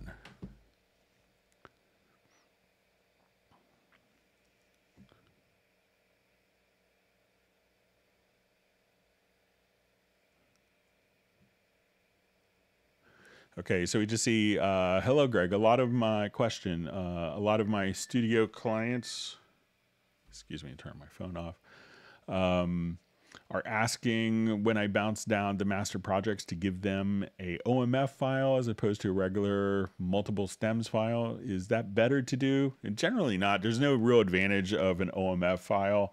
You know, the old days it was, you know, maybe the person is importing it directly into like a video program that's hard to just load in stems. Uh, but usually most audio programs, you know, OMF could lack some functionality, you know, like I think even dual like stereo files or split to mono. So it's kind of an older standard, you know, it's maybe 20 years. It was pretty common to to migrate information between different DAWs. Uh, AAF is kind of an updated version of that. But most people I know will just simply, you know, exchange different stem files. Um, and that's more common, but you could do it. There's no real benefits of OMF unless the person is maybe doing a, a video where they, they can't really uh, handle multi track audio well.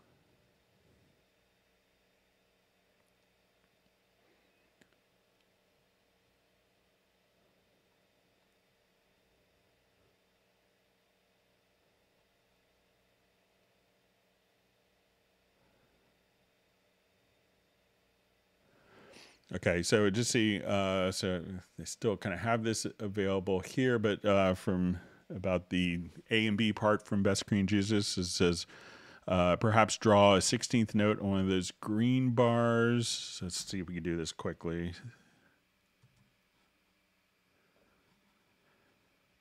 Okay, so let's say if I want to draw a green note here, uh, let's say I'll just put a 16th note.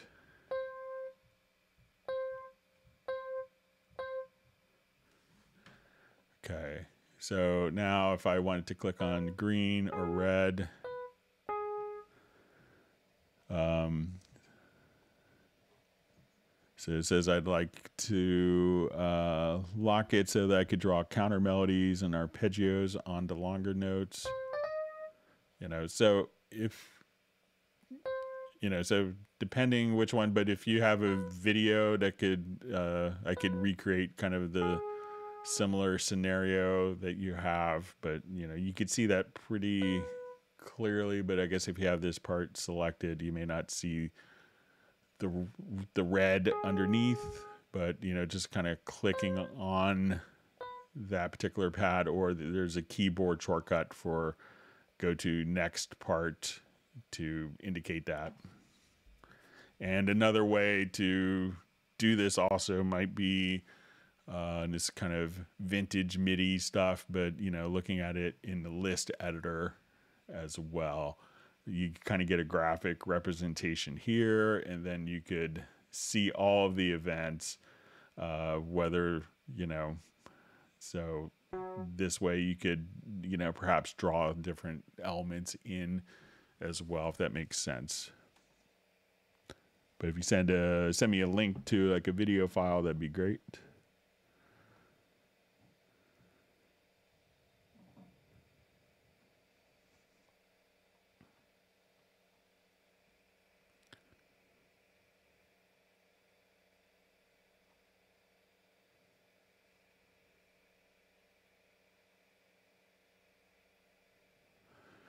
right. Uh, so we see a, a, question from Mitch. Uh, Greg, I've recorded a MIDI part. Some notes are extremely close to each other, uh, say a flam type uh, instance. Um, sometimes when I select uh, the MIDI event I want to change velocity on and then try to lower or raise the velocity on the lower half of the screen, every time I draw the change, um, in velocity, it selects the note I don't want to that's next to it.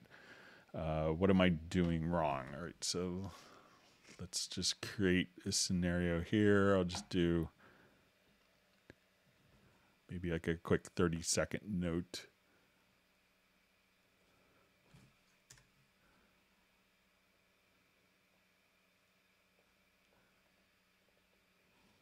And I'll just do this in a quick drum editor.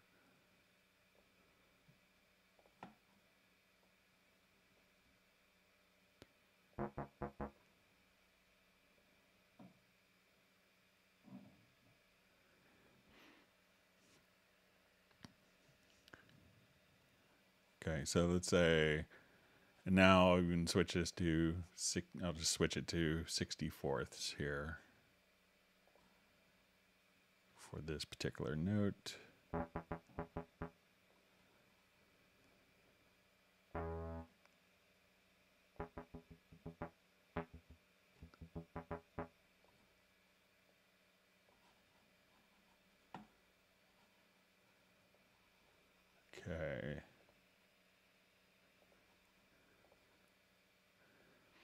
Okay, so um, it says every time I draw a change in the velocity, it selects the note I don't want to that's next to it. All right, so let's say I want to take this note. Um,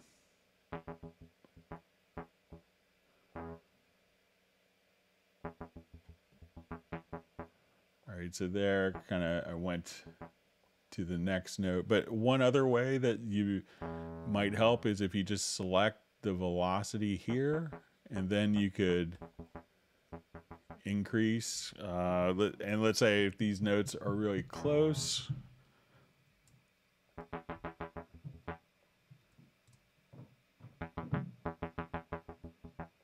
You know so let's say if I come here um, and you hold down control or command plus shift you could just go over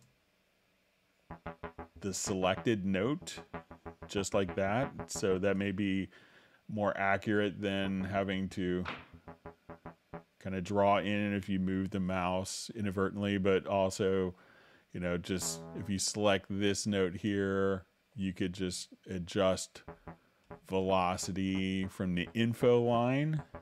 So maybe some try some of those and see if that helps.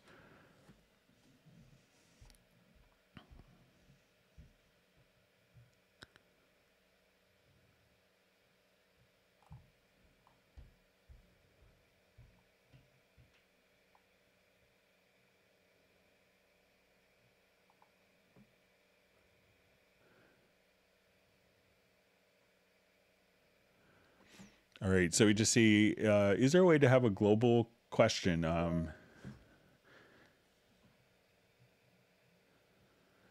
uh, sorry about that. Just had an email pop in. So, uh, so question: Is there a way to have a global key command to move objects left or right, no matter if it's an event or a MIDI note? Um, all right. So let's say we'll come here. I wanted to move this event. So I think it's so I'm just using uh, control plus left and right arrows for for the events on the project window. When we double click here, so just it's uh, control or command plus left or right arrows, and that will move it based on the snap value. Uh, here on the grid value. So if I move select quarter notes, I can now move it quarter notes. And if I'm on the main project window, you know, if I have this set to uh, quarter notes here, so let's say I have grid, and let's say if I want this on bars, I can move it by bars or use the quantize value. So it's the same key command. So control or command plus the left and right arrows, and that can move events on the timeline.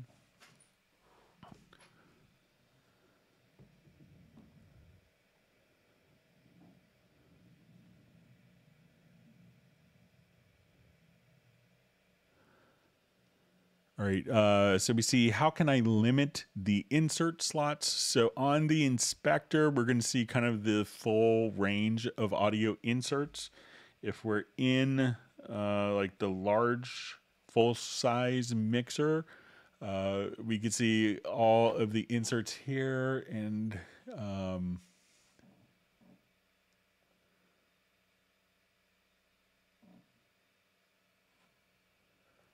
just find a quick setting here. Okay, so now if we come over here, so if I say uh, this little drop down menu just to the right of racks, we could say fixed number of slots. So I could see all 16 inserts.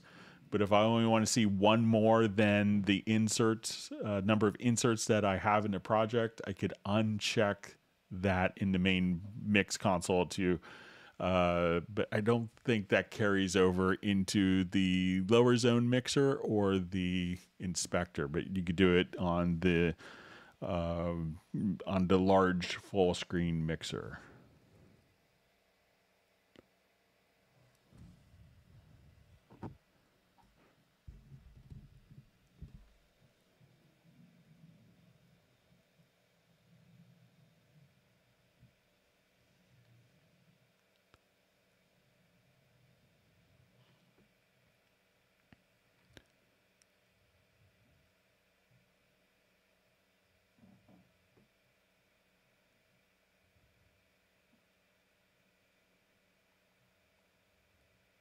Okay, reading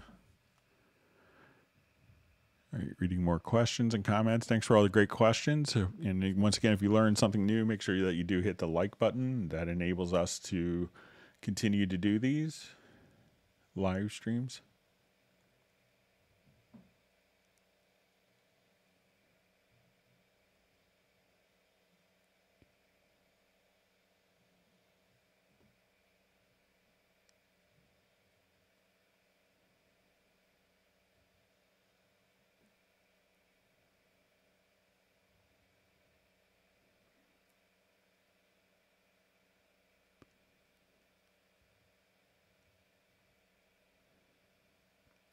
Okay, just read through more questions and comments.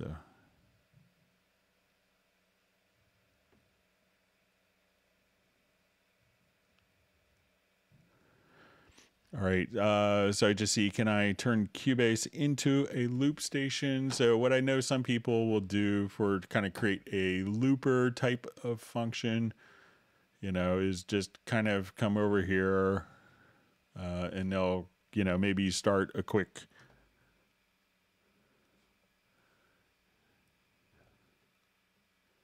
So let's say we have a number of audio tracks and there's really no limit.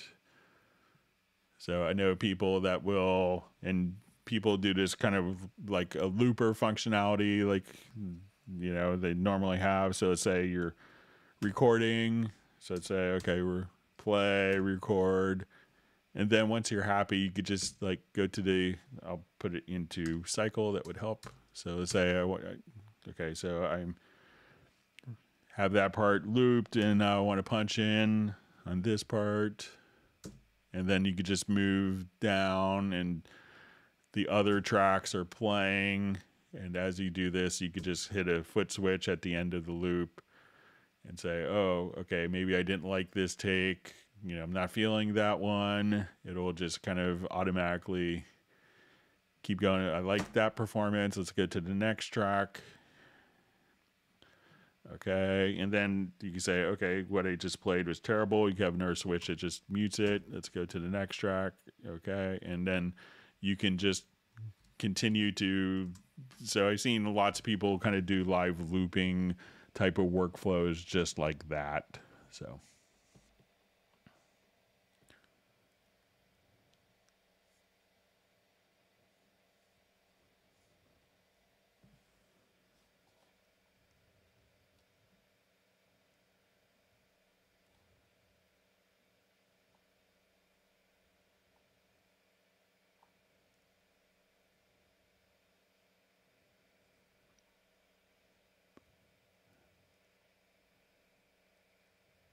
Okay, reading through comments. Thanks for all the great questions.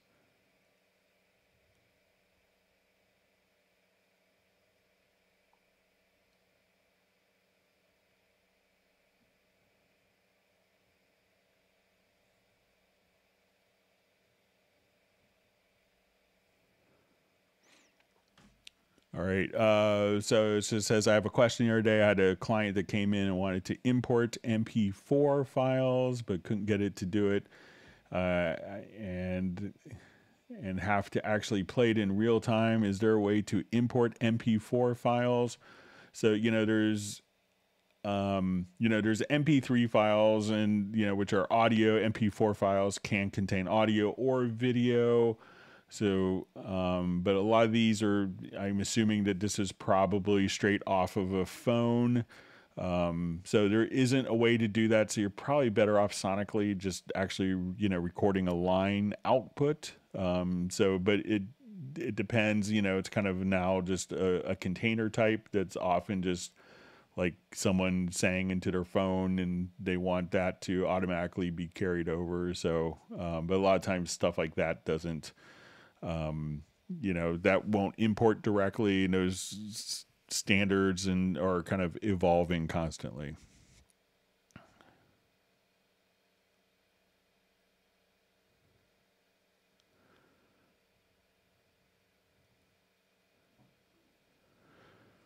Okay, so we have a question. It says, uh, "Hi, great tip um, regarding moving clips. I'm just uh, switching to Nuendo from Pro Tools where I'm nudging clips all the time. Is there a way to do this in Nuendo? So if you wanted to nudge, you know, there is kind of a nudge palette. So once you come over here, you could say, okay, now that we have, um, so let, let me just come over here, you know, so you could just say, okay, I wanted to move these events so just kind of like what we were doing, you could also choose to uh, trim the end or beginning.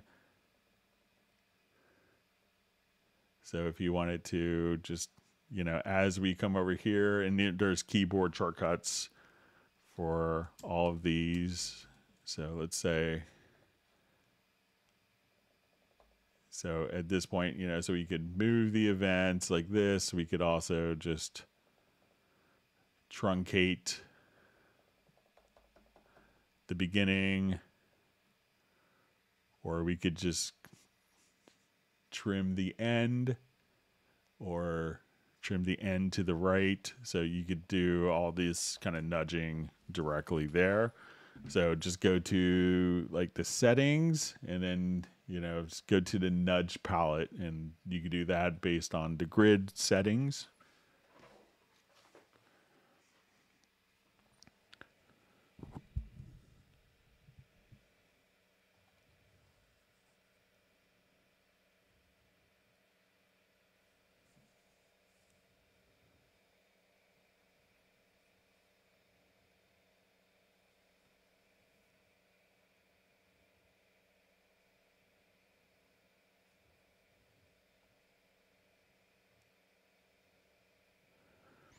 All right. So, um,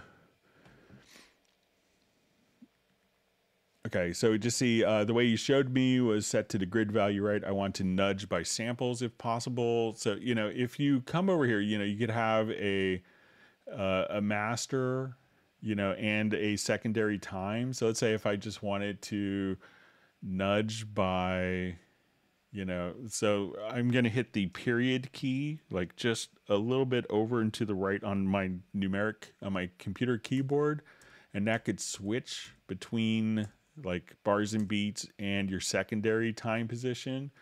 So let's say if i just wanted to nudge something by 10 samples i could come over here and say okay i want to use the quantized value. When i come to my secondary and again that's just a period key on a computer keyboard and now when i nudge and we could watch kind of the value here. So I'll hit the period key. And now when I go to nudge, we could see that the start and end positions will just be base. So I could do all my editing in bars and beats and switch to samples. Or if I want it, if I'm doing more traditional post, I could say I want it time code. So I could have, if I wanted to adjust by one frame,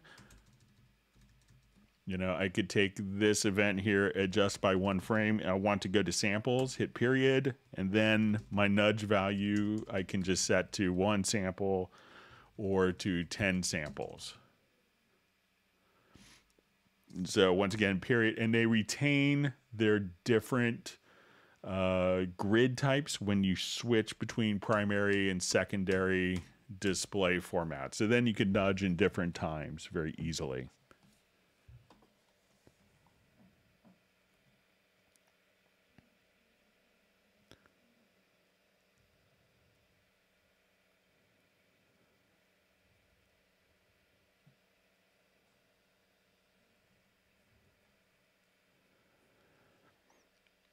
Okay, so we have a question. Uh, for some reason, my sustain pedal has been assigned to some sort of command that pans the first track available in Cubase hard right. How can I find that command list and remove it? So it's probably going to be set up maybe in a generic remote or maybe something like a Mackie control. So if we go to your studio menu, go to studio setup, and then at that point, um, go to like your generic remote and you'll probably see that uh, like sustain pedal, like control name, maybe set up for like controller 64 or whatever. So you would see that your the MIDI message is probably going through a remote controller that's setting the particular uh, values. So you could, you know, choose to delete this. You may have like a Mackie control set to all MIDI inputs as opposed to like a dedicated port where stuff like this could happen. Um, so that's probably where that MIDI message is actually uh, sneaking in. So and causing the the panning to be adjusted.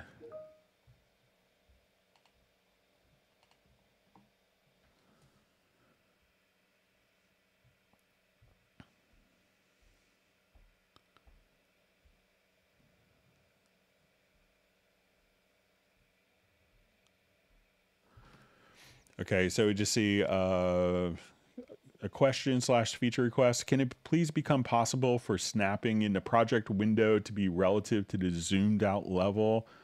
Uh, I've seen this humbly requested before, so it kind of does that already. So there is, so let's say I'm at bars and beats here. Um, so we could come over here and we see the grid setting for adapt uh, adapt to zoom. So right now at this level, um, I'm going to, let's, I'll just move this to,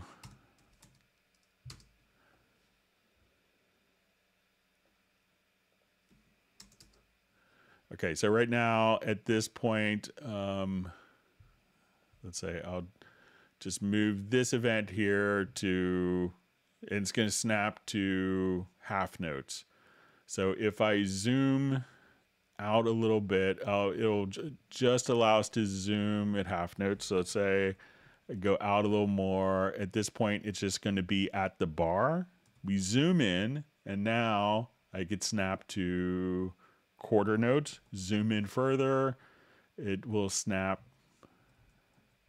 So as we do this, it's going to snap to eighth notes. We zoom in, 16th notes, so all you have to do is set the grid to adapt to zoom level. Um, so you do that, and then as you zoom in, now it will just kind of automatically follow your your grid settings based upon your zoom setting. So we thought it was a cool thing too, and that's why they added it.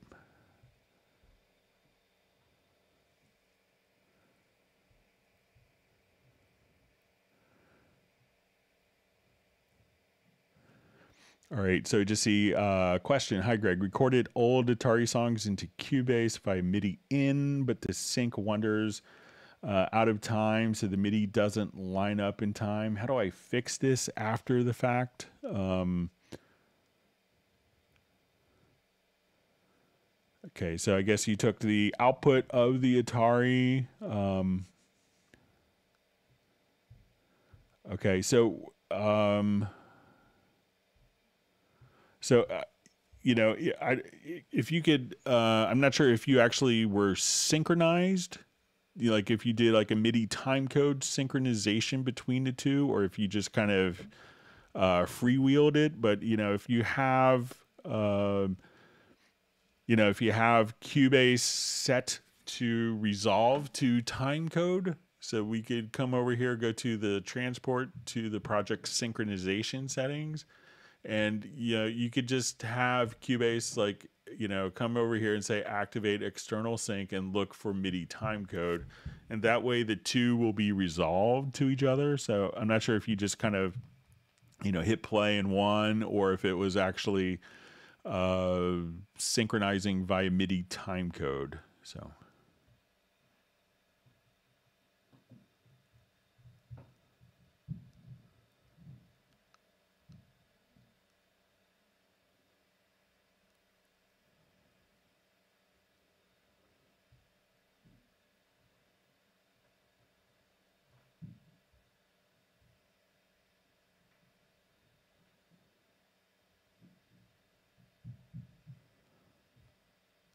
Okay.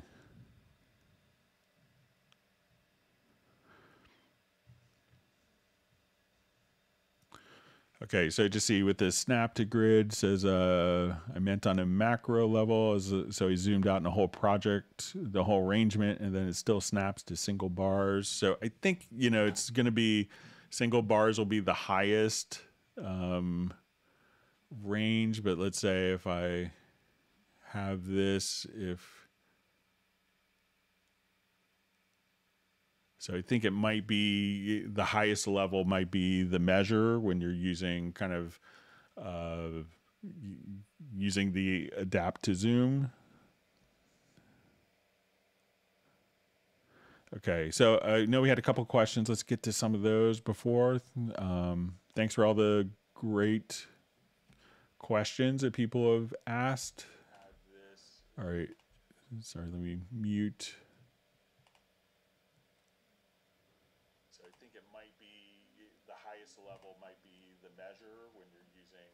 All right, sorry, just using the adapt to zoom. All right. Um, okay, so I know we had a couple questions. Let's get to. All right, let me just turn my volume down. My monitoring computer. Sorry about that. Questions that people have asked. Okay. Um, all right, so we have a question how to click in the project window to set the playback position. So, a lot of times uh, when people are here and they want to play back starting right here, they click and they could select the event. So, you know, we could now, there's an option for click to uh, click on empty space, but let me just show a different scenario. So let's say if we're back on this project where we have data kind of all through the project and we don't have empty spaces.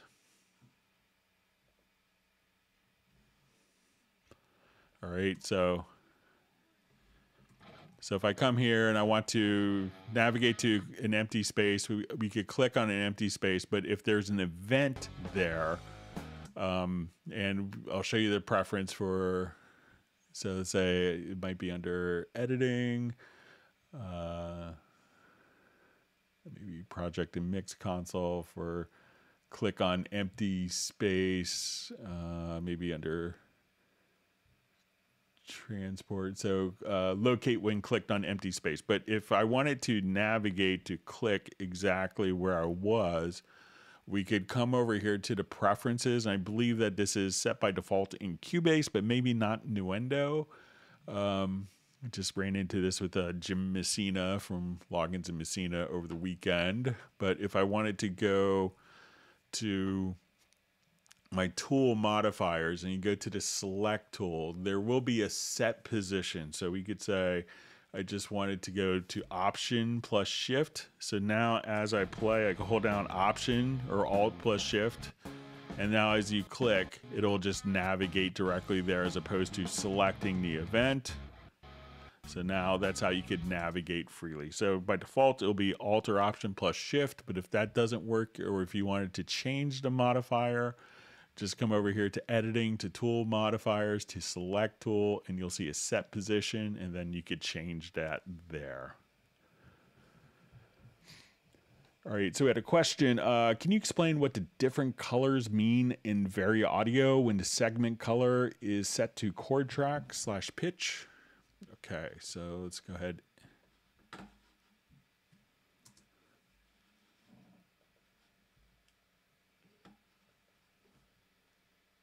All right.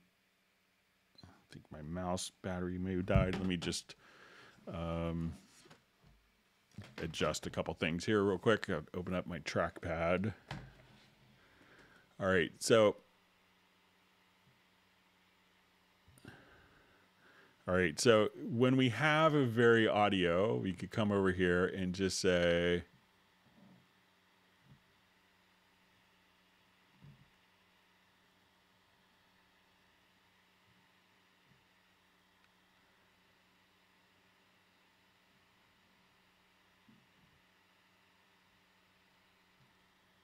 All right, so I'm going to have my chord track.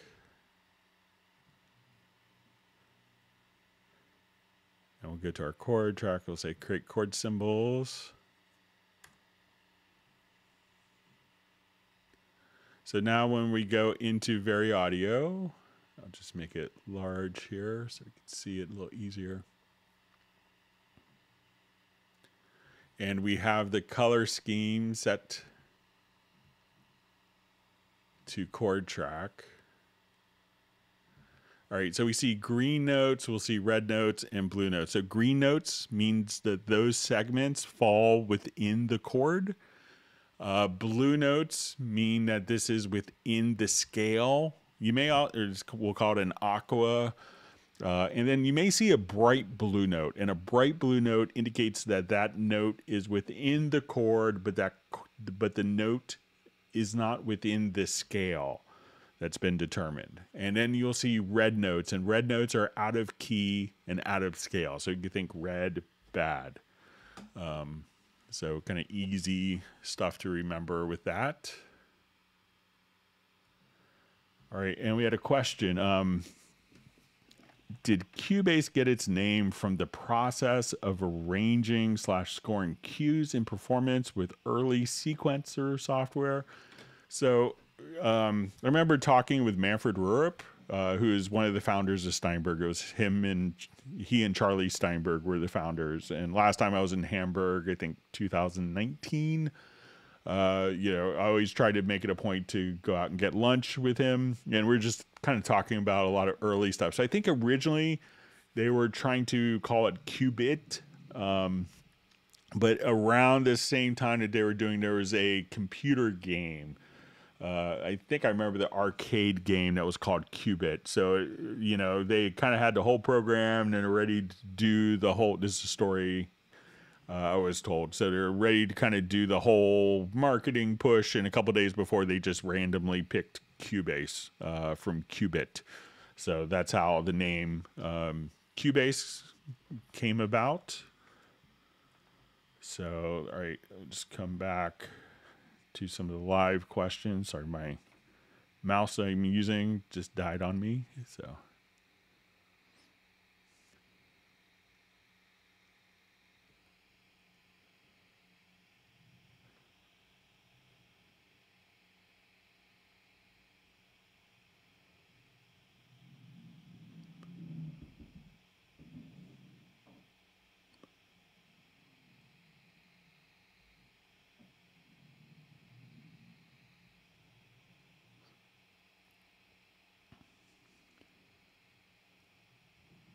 Okay, uh, so we have a question. Will my Cubase 7 artist projects load into the latest Cubase? Yes, yeah, so you can go back to Cubase SX1 uh, and those file formats or Nuendo 1 from 1999. They will uh, load up, no problems.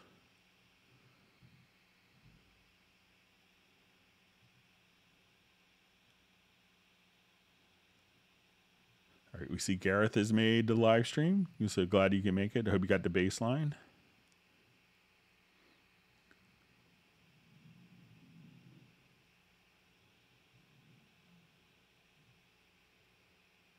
Okay, so see Gareth got the baseline. Hope it was okay.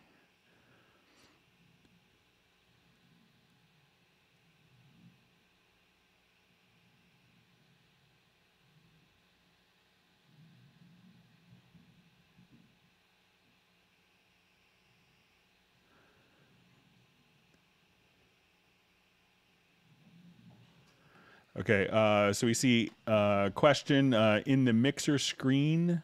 Um, there's a drop down menu uh, with a choice uh, EQ. Just make sure.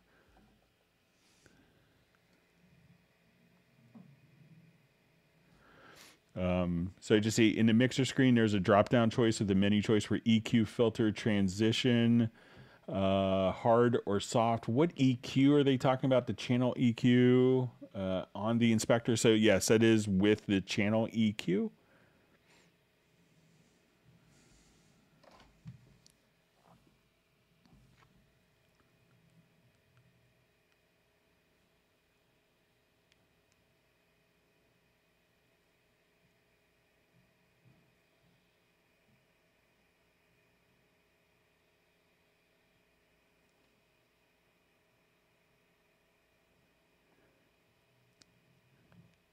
right? So we Gareth is asking if I had a hamburger while I was having lunch in Hamburg. So I think we actually did have hamburgers that day. So, but it was nice. But it, it there is a lot of seafood in Hamburg as well.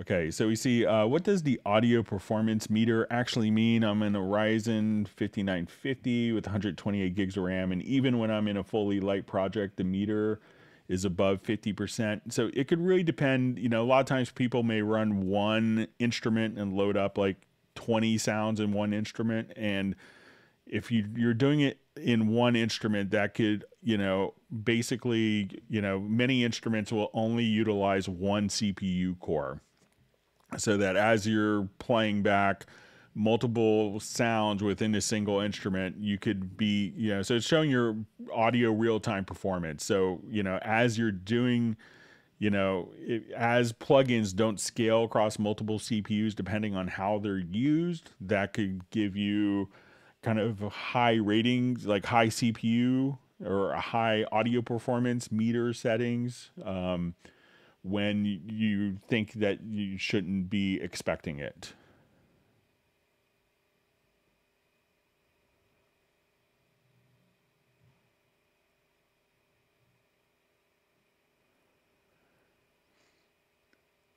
Um, so I just see, uh, Greg, what part of Cubase have you lately found unexpected depth? Um, I think, you know, I was working on device panels with someone and, you know, it's not something that's as popular today, but you know, there's a lot of stuff you could do with that. But yeah, I'm always discovering new things, and you know, I generally will learn something new on every live stream.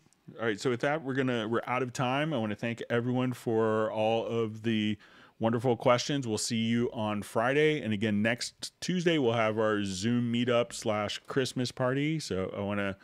Uh, I'll have different op different um, I'll have the Zoom meetup info for Friday's live stream, but everyone please stay safe and healthy. And um, I just see a quick question. Uh, how often are the live streams? We do it Tuesdays and Fridays. We'll take some time off for the holidays, but we do it twice a week. So with that, we'll end the live stream. Everyone, please stay safe and healthy. Goodbye.